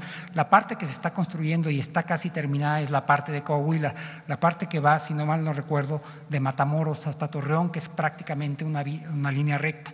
Tiene que cruzar el río Nazas y del otro lado, ya no recuerdo si es, es, Lerdo, me parece, este, o Gómez Palacio, lo que, esa es la parte que se tiene que, que, construir. Y había una propuesta del apoyo del presidente a que, al gobierno de Durango para construirla. Pero lo, lo, que hubo una petición de la ciudadanía en que primero se atendieran los problemas de agua y después los del Metrobús. Una vez que se resuelvan los, los temas de agua, el tema del Metrobús va a poder ser este, considerado y los recursos que iban a ir originalmente para esa parte no estaban en el presupuesto, eran recursos del FONADIN. Así es que ni antes ni ahora los va a encontrar el presupuesto porque no estaban en ese, en ese momento en, ahí. Eh,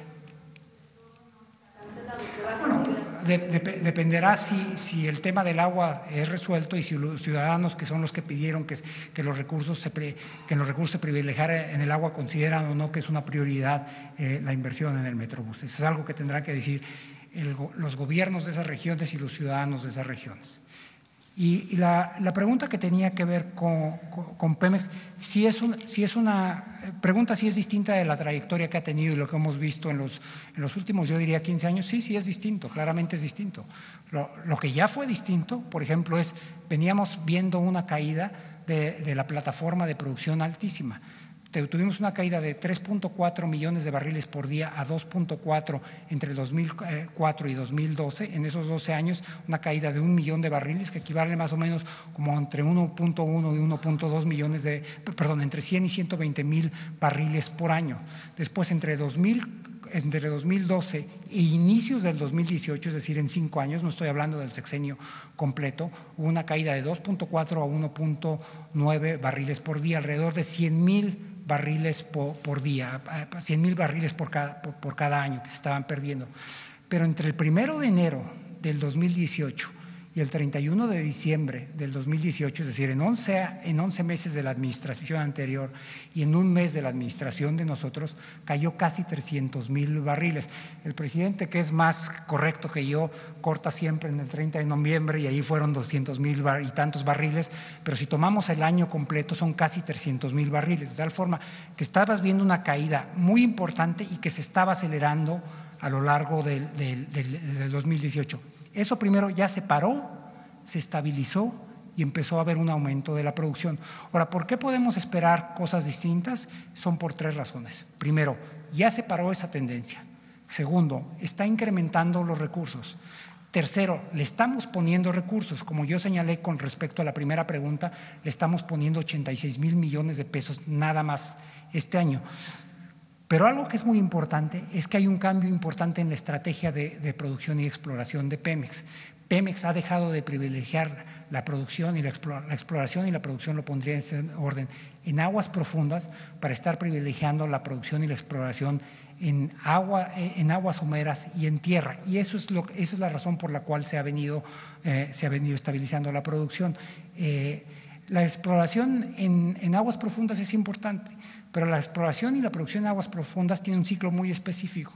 Se tarda más o menos siete años en la exploración, tres años en desarrollo y a partir del décimo o onceavo año se empieza a ver la producción. Así es que darle la vuelta a Pemex, aun cuando eso es muy importante y aun cuando seguramente lo vamos a hacer, esos recursos y, generaría, esas inversiones generarían empleo y producción y actividad, pero no generarían ni una sola gota de petróleo. Eso es muy importante que se haga y estoy seguro que Pemex lo tiene en sus planes, pero no generaría recursos ni en esta administración ni en la que sigue. Es muy importante hacerlo porque hay que garantizar los recursos hacia, hacia el largo plazo. Estas son las tres características que, que, explican de manera importante por qué, por qué, nosotros estamos confiados en que Pemex va, va a aumentar su producción. Ahora, asociado a ello sí viene un esfuerzo de nosotros. No es sencillo dedicarle 86 mil millones de pesos, más los que ya les dedicamos este año. Hemos estado usando fuentes diferentes, le hemos estado dando recursos por el lado del gasto y también hemos estado dándole un tratamiento tributario diferente. Tenemos otra vía que no viene en el presupuesto, que es Pemex, tiene algunos campos que son rentables para el Estado mexicano, pero no son rentables para Pemex.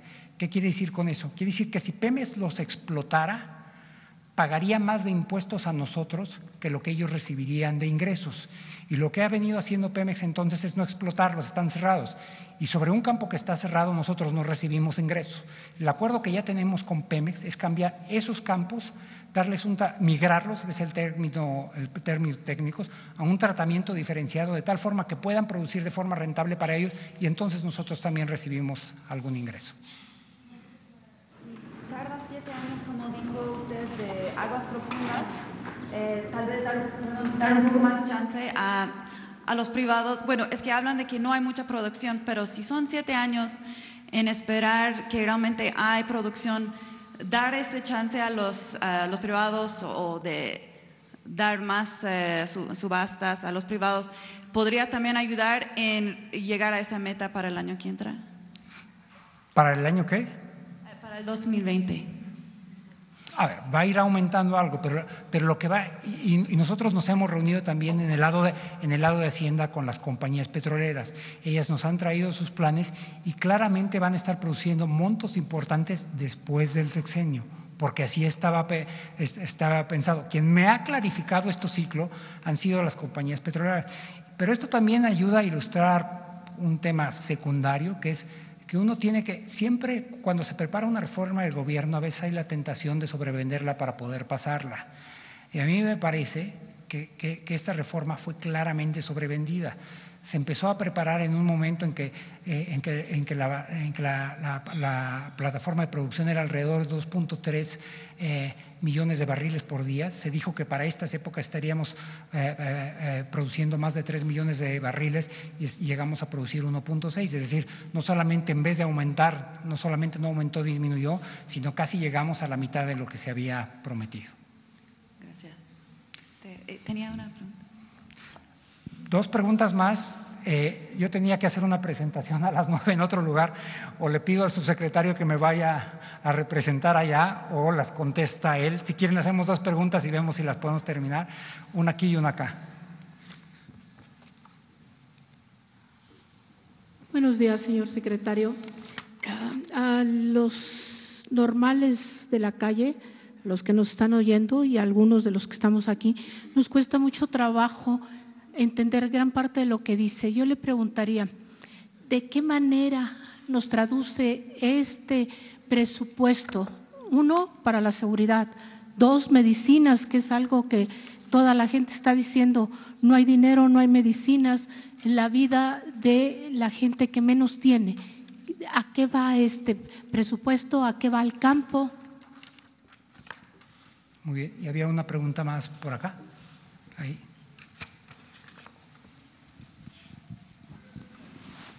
Buenos días, secretario. Omar Caballero de Informantes Virales. Nada más para preguntarle y para finalizar, eh, ¿qué va a pasar con la inversión del Estado?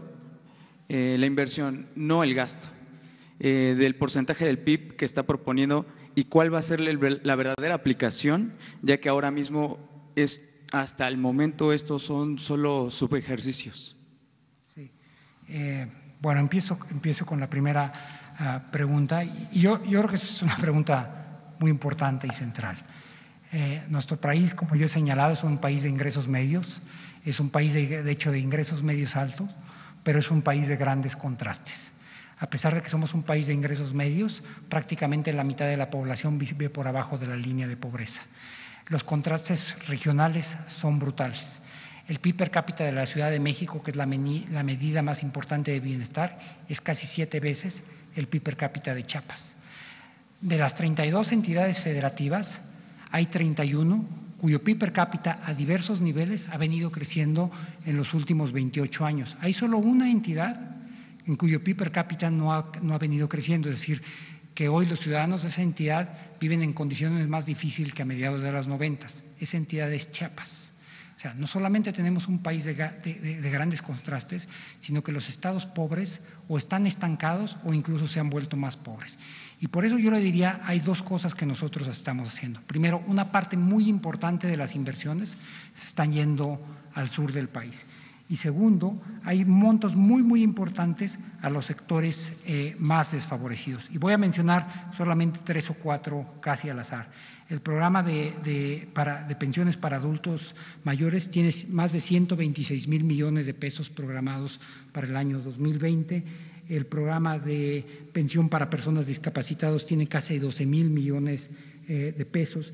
Las becas de educación eh, superior tiene 7 mil eh, millones de pesos. El programa de Sembrando Vidas, que está fundamentalmente orientado a las zonas rurales campesinas del sur del país, tiene 25 mil millones de pesos. Así es que yo diría que aquellas personas que, como usted dice, están en una situación más difícil, ¿qué les podemos decir en concreto? Que estos beneficios, muchos de los cuales ya les están llegando, estamos comprometidos a que sigan llegando para allá y que además estamos haciendo inversiones adicionales en esa zona del, del país. Eh, la otra pregunta era, sí, la, la, las medicinas ha sido un tema muy controvertido en el que yo ya, muy a mi pesar, ya también me, me, me, metí. Tuve una conversación muy interesante hace un par de semanas con un diputado de un partido de, de oposición y él me dijo, este, ¿por qué no visitan los hospitales de manera aleatoria? Y me pareció muy buena sugerencia. Y entonces empecé a mandar a personal de la Secretaría de Hacienda para ver si había medicinas o no. Y en la mayor parte de los casos, incluso tomaron algunas fotografías, hay medicinas. Este, lo que sí me va a corresponder y es mi responsabilidad, y yo tengo en este cargo, pues hoy cumplo dos meses, mi cumpleaños, este, como secretario de Hacienda, es asegurarme, dado, dado que la oficialía mayor ya me reporta, asegurarme que las licitaciones salen a tiempo y que hay una provisión adecuada de ellas. La pregunta aquí tenía que ver con los, con, lo, con los subejercicios. Eh, si tú ves el, informe trimestral del segundo, asociado al segundo trimestre de, de, finanzas públicas, vas a ver que la mayor parte de los niveles de ejercicio estaban en niveles del 50 o el 40% a seis meses. Y eso indica que si llegara a haber niveles de subejercicio son mínimos, porque el gasto no se aplica de manera homogénea a lo largo de los meses. Te doy un ejemplo. Eh, en, en, el mes de diciembre se paga el salario de diciembre, pero también se paga el aguinaldo, de, el aguinaldo, de tal forma que si tuvieras la nómina, no se paga un doceavo, un doceavo, sino que está cargada hacia, hacia, hacia diciembre. Y lo mismo pasa con el gasto de inversión. Tú empiezas haciendo licitaciones, asignando contratos y después los pagos se hacen hacia la segunda, hacia el segundo semestre del año. Así es que yo, yo, yo no coincido con ello y yo creo que eh, más bien lo que estamos preocupados es asegurarnos que estamos saliendo en línea y con nuestros objetivos. Muchísimas gracias. Voy a salir corriendo a la. Espérate. Me espera, pues si no que se vaya él. No, espérense, ¿no? ¿Sí? Esto es más importante.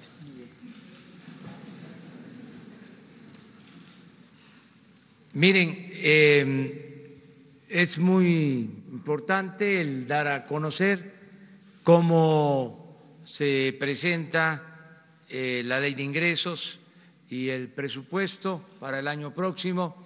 Yo quiero eh, transmitir un mensaje a todos los mexicanos, decirles que vamos muy bien, que afortunadamente vamos a seguir garantizando el bienestar del pueblo. Y esto es posible porque nos está resultando la fórmula de acabar con la corrupción y de hacer un gobierno austero, de manera muy clara. No se permite la corrupción y esto ha significado ahorros muy importantes. El presupuesto rinde más. Cuando hay corrupción, si se hace una obra que cuesta 100 millones, la cobran en 300 o en 500. O hay muchísimos ejemplos. Les dan los anticipos y se quedan con el anticipo y no hacen la obra o no entregan lo que supuestamente vendieron. Entonces, vamos bien porque ya no se va el dinero del presupuesto como era antes por el caño de la corrupción. Y vamos bien porque ya no hay lujos en el gobierno, no hay sueldos de 700 mil pesos mensuales. Ya no tiene el presidente una guardia de ocho mil elementos del Estado Mayor Presidencial. Imagínense cuánto significa esto de ahorros. Vamos bien porque ya los funcionarios públicos no viajan sin ton ni son al extranjero. Ya no hay avión presidencial, ya no se utilizan aviones, helicópteros para el traslado de funcionarios. Usaban los aviones hasta para ir de compras y los helicópteros hasta para ir a jugar golf. Ya no hay las pensiones millonarias a los expresidentes. Ya no se destinan seis mil millones de pesos para la atención médica a los altos funcionarios públicos. Ya no hay cajas de ahorro especial para los altos funcionarios públicos. Hay un gobierno austero porque no puede haber gobierno rico con pueblo pobre. Esta es la principal fuente de financiamiento del presupuesto, el combate a la corrupción y hacer un gobierno austero. Esto no se aplicaba antes, no está en el llamado paradigma neoliberal. Es más, si ustedes buscan en los discursos en todo el periodo neoliberal, en 36 años, van a encontrar muy pocas veces utilizada, repetida la palabra corrupción.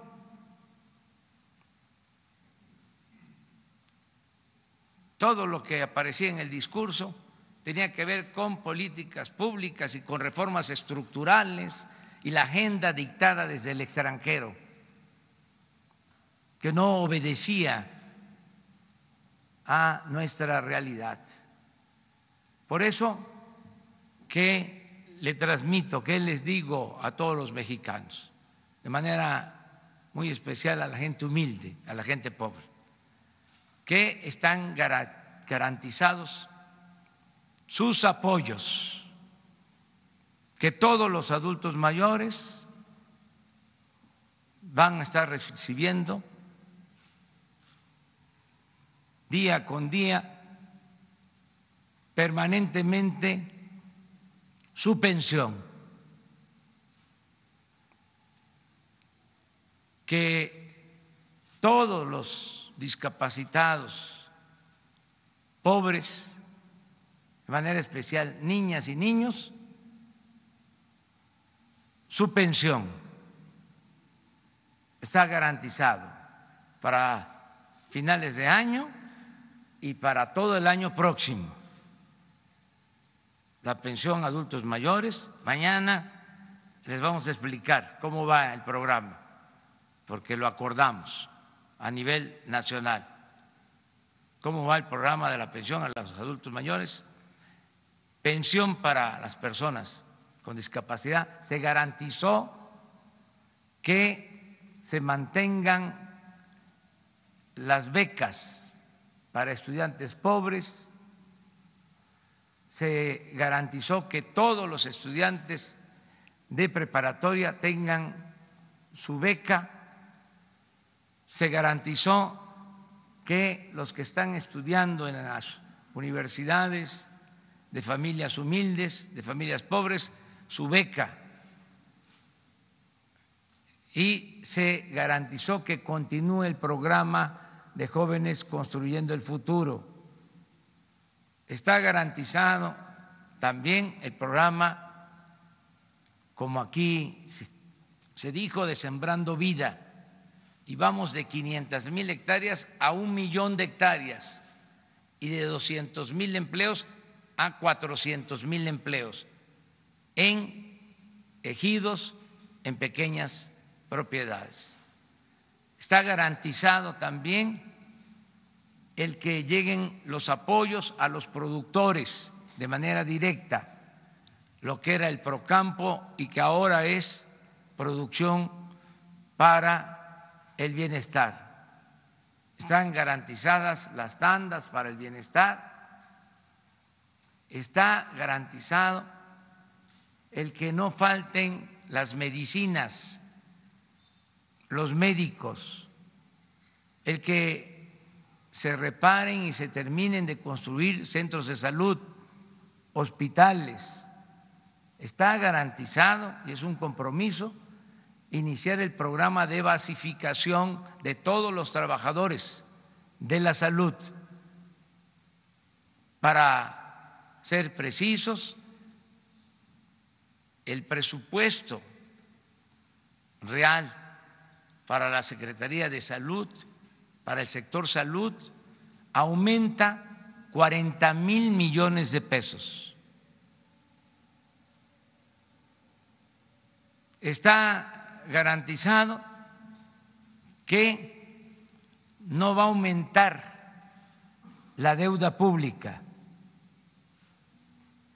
No ha aumentado ni aumentará el año próximo. Está garantizado que no aumentan los impuestos en términos reales.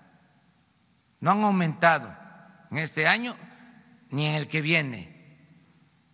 Está garantizado que no van a aumentar los precios de las gasolinas, del diésel, del gas y de la luz este año y el próximo en términos reales.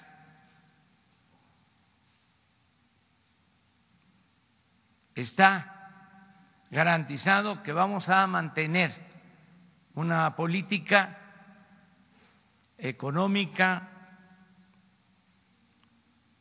procurando no gastar más de lo que ingresa a la hacienda pública. Es decir, no van a haber faltantes, no va a haber déficit y esto nos permite que se mantenga estable el peso. En este año es de las monedas que más se han fortalecido a pesar de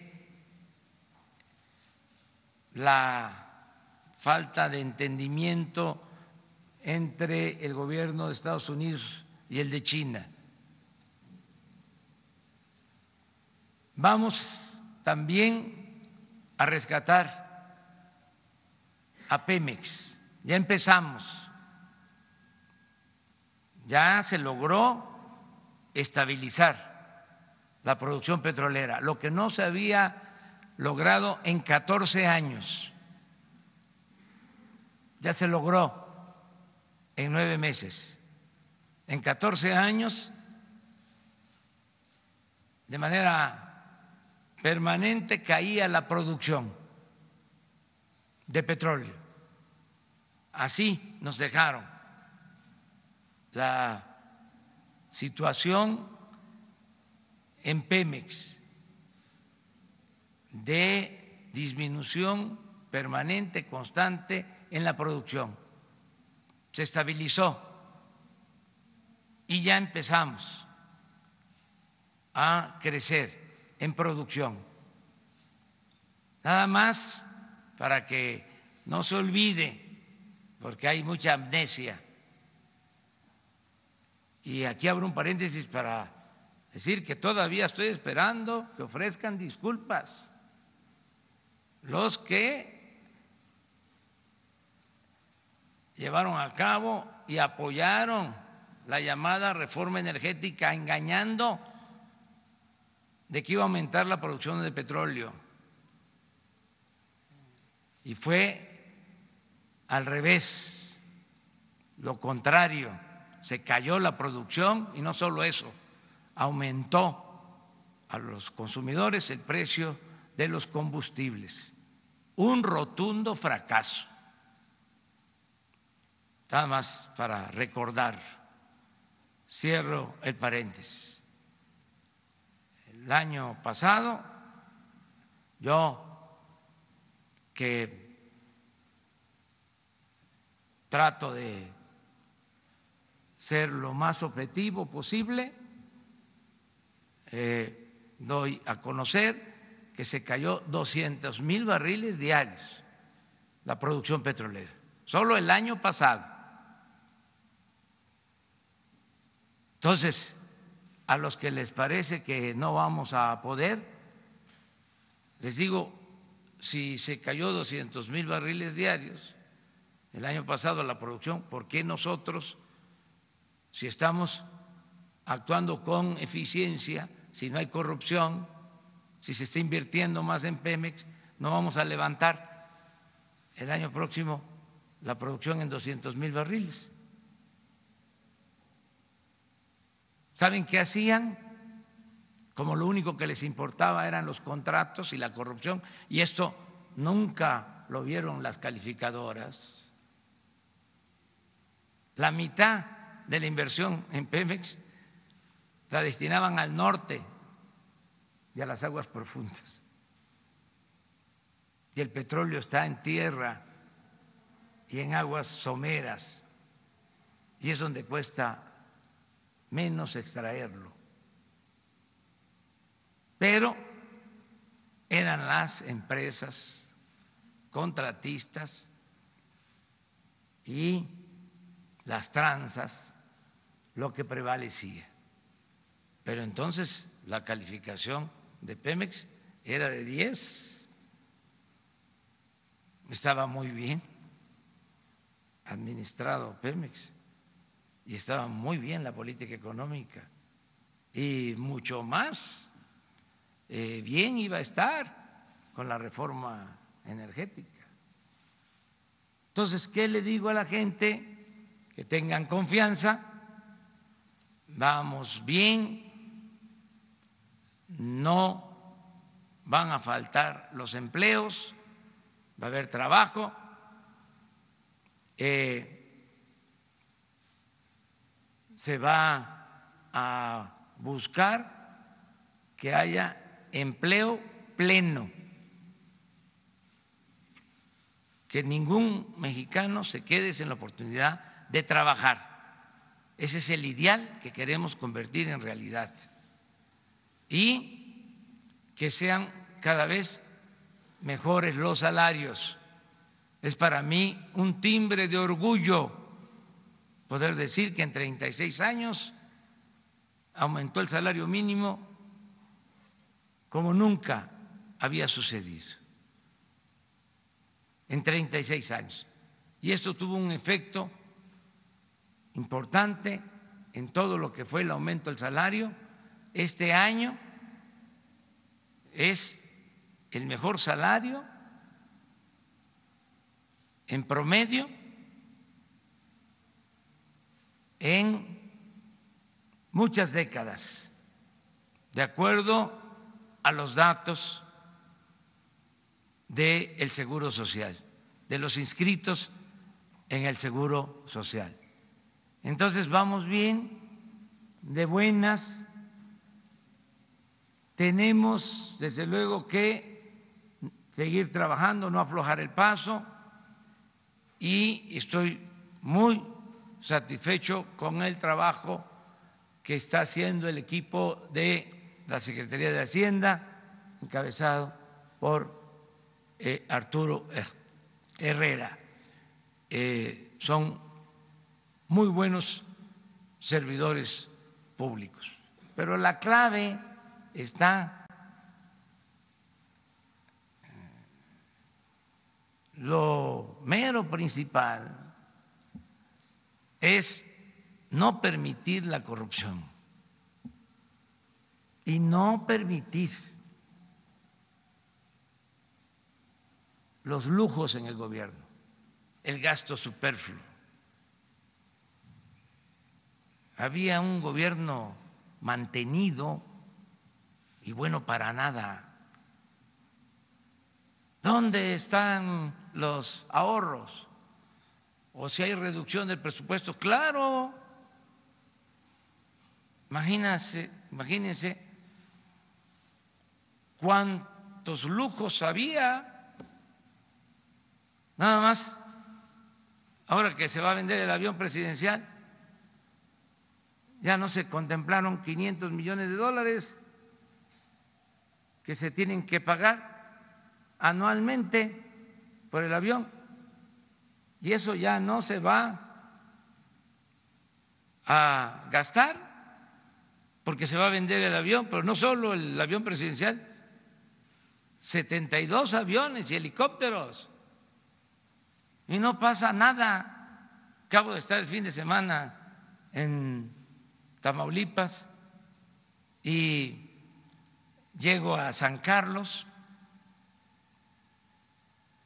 y evidentemente acababan de tapar los baches de toda la carretera.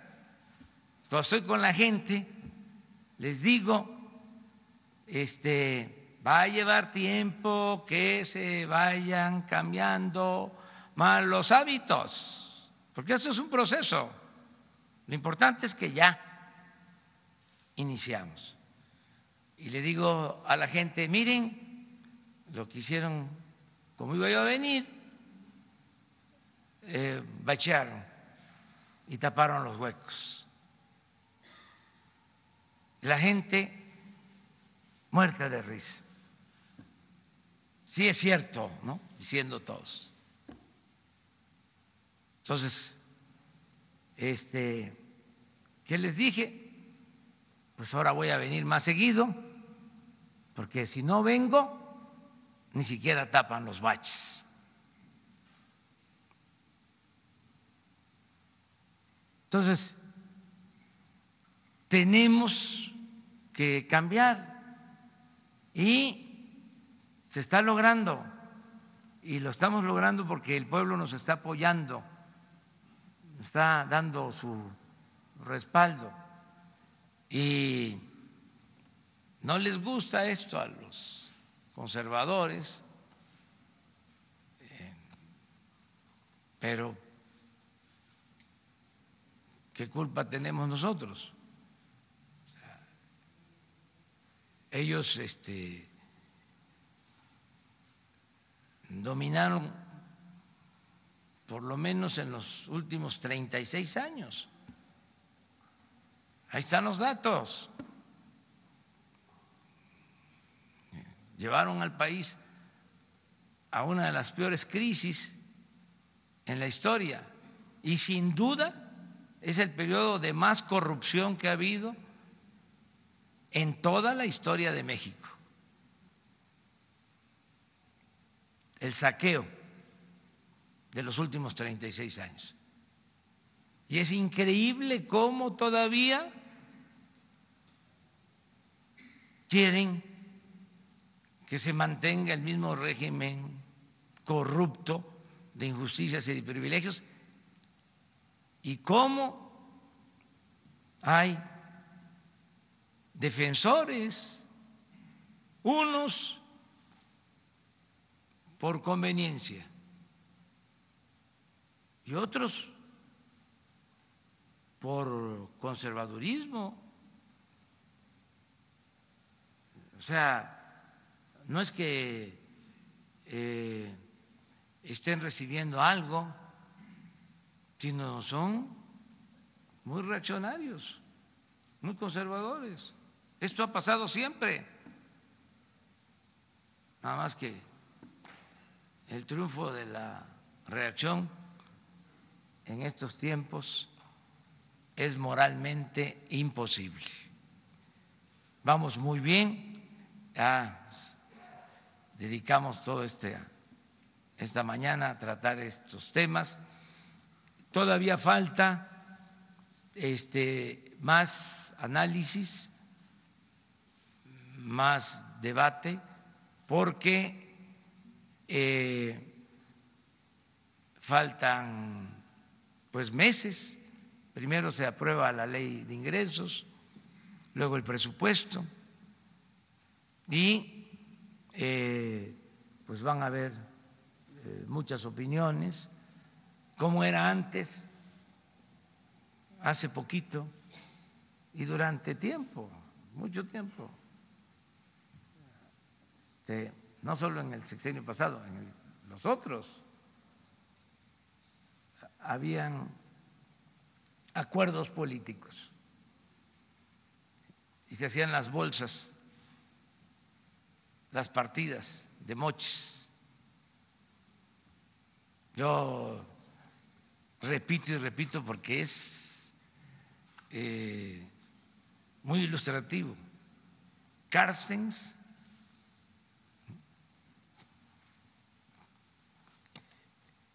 resultó un maestro de la política,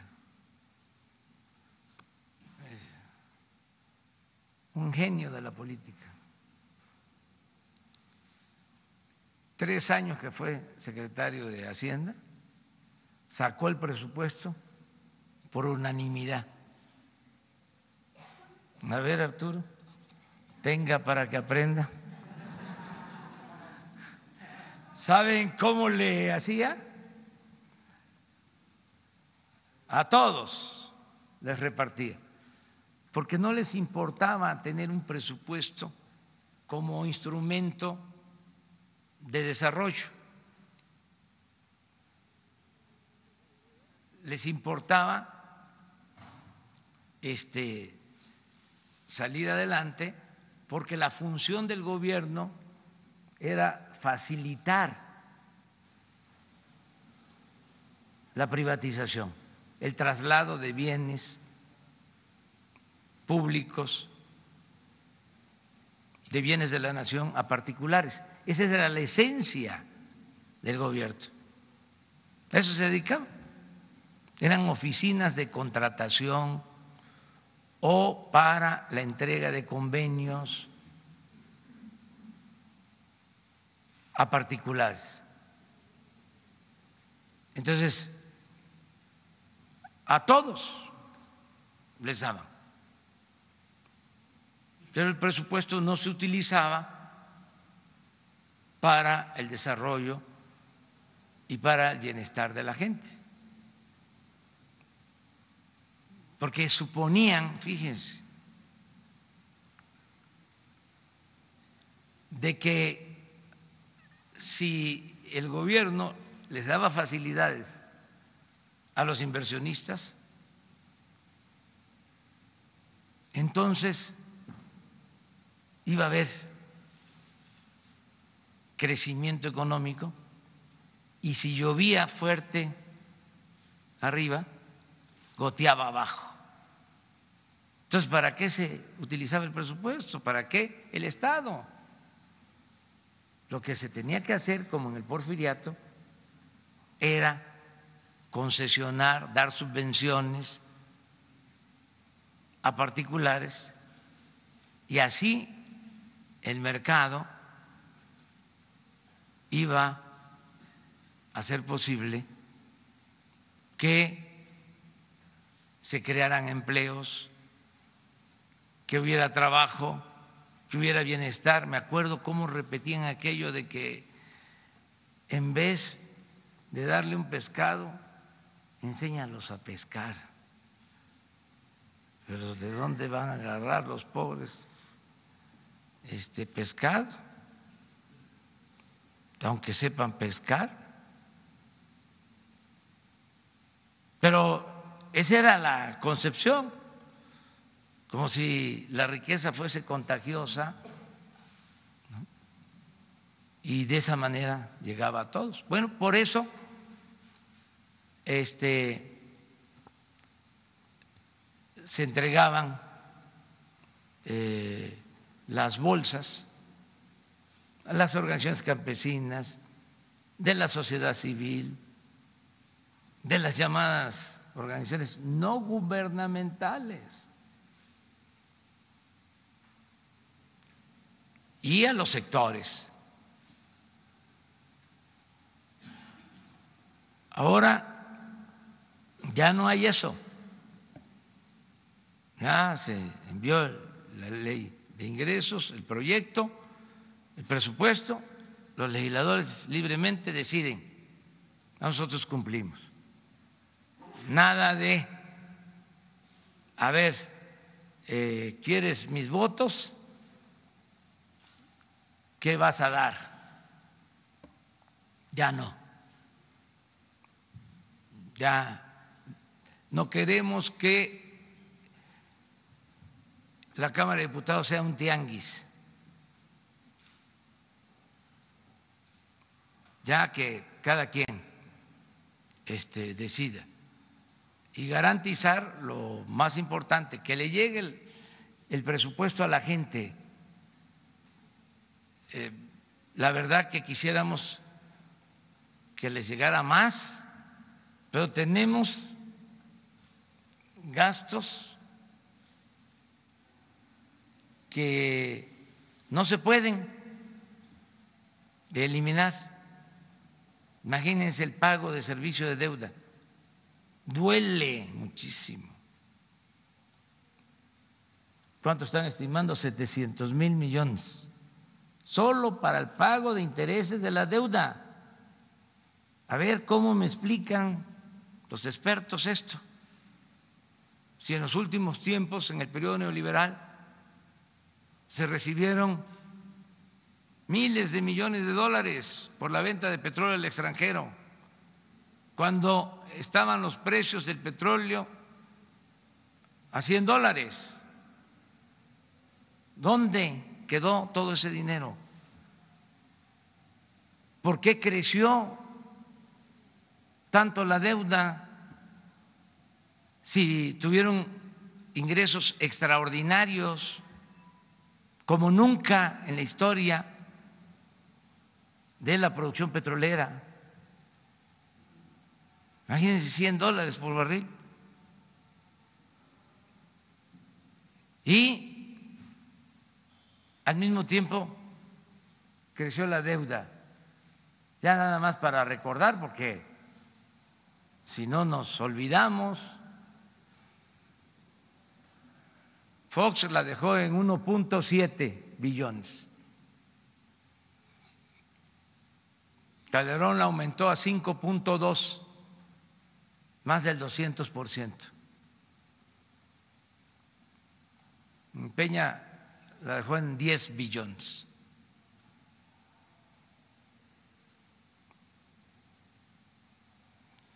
Entonces, ¿cuál es la diferencia? que en términos reales no aumenta la deuda en este año y en el que viene. Y estamos haciendo un gran esfuerzo para lograr esto.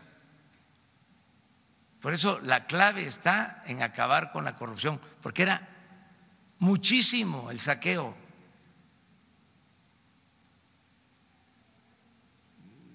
Más de lo que nos podemos imaginar. Todavía me encuentro a veces opiniones. Bueno, no solo opiniones, amparos de los que querían que se construyera el aeropuerto en Texcoco, aunque se hundiera. Nada más imagínense, tenían estimado 300 mil millones.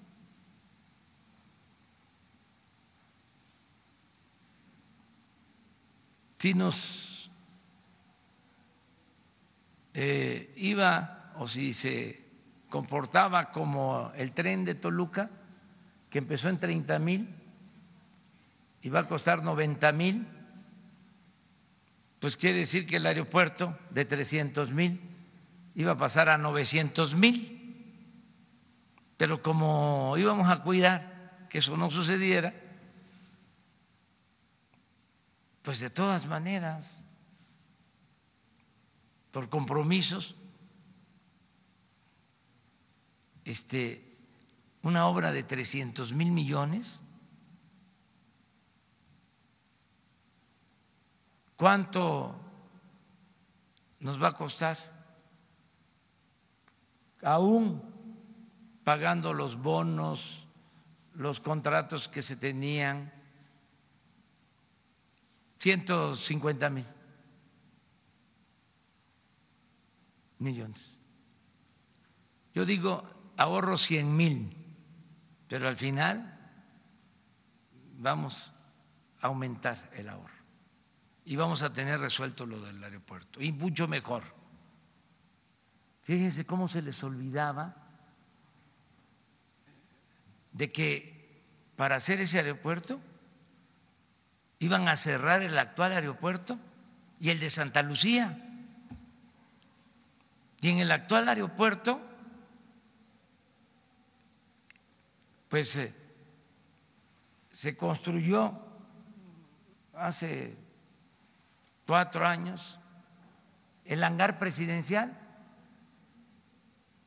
que costó mil millones de pesos y todo eso a la basura. Bueno, pero la terminal 2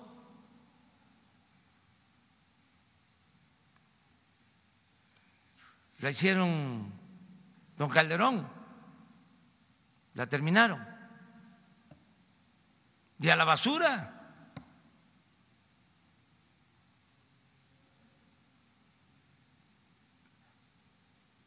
Entonces, sí eh, va a costar un poco de tiempo, pero vamos a seguir nosotros insistiendo de que estos absurdos no. Y lo mismo de las medicinas. Porque hay campaña, porque era un monopolio.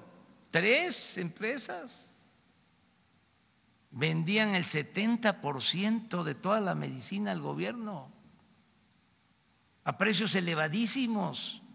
Ustedes saben que si eh, se consideraban de mil doscientas eh, marcas, les llaman claves de medicina, mil doscientas. Resultaba de que se convocaba una licitación y de las mil doscientas solo había abasto para 500 claves. 700 no había. Entonces, esas 700 se compraban sin licitación y al doble o al triple de lo que costaban las medicinas. Yo preguntando, bueno, ¿y por qué nada más tres empresas? Ah, porque me dicen los que todavía este, tienen esa influencia y están en el gobierno porque estaban metidos aquí. el gobierno estaba tomado por estas empresas y por todas, no solo estas. El gobierno estaba secuestrado. Entonces tenían este, a su servicio a los servidores públicos. Entonces alguien me dice, es que eh, habían tres, porque son las más fuertes, y son las que aguantaban eh, eh,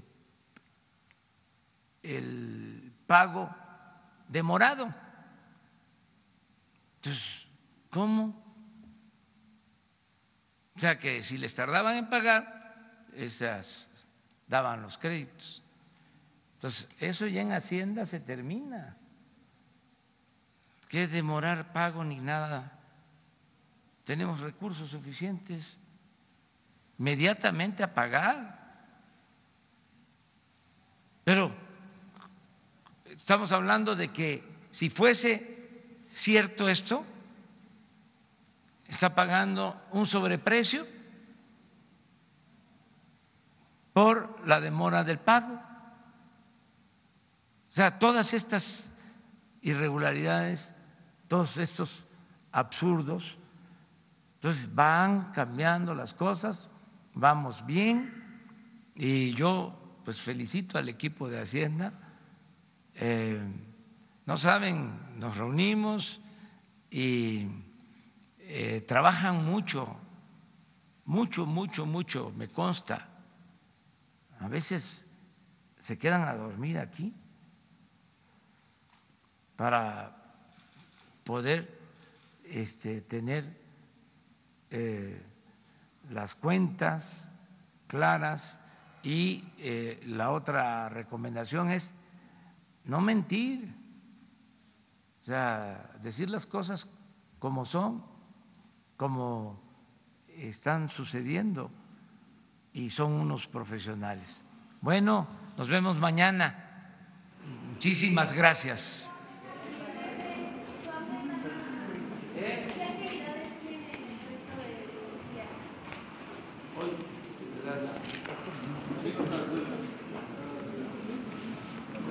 Felicidades.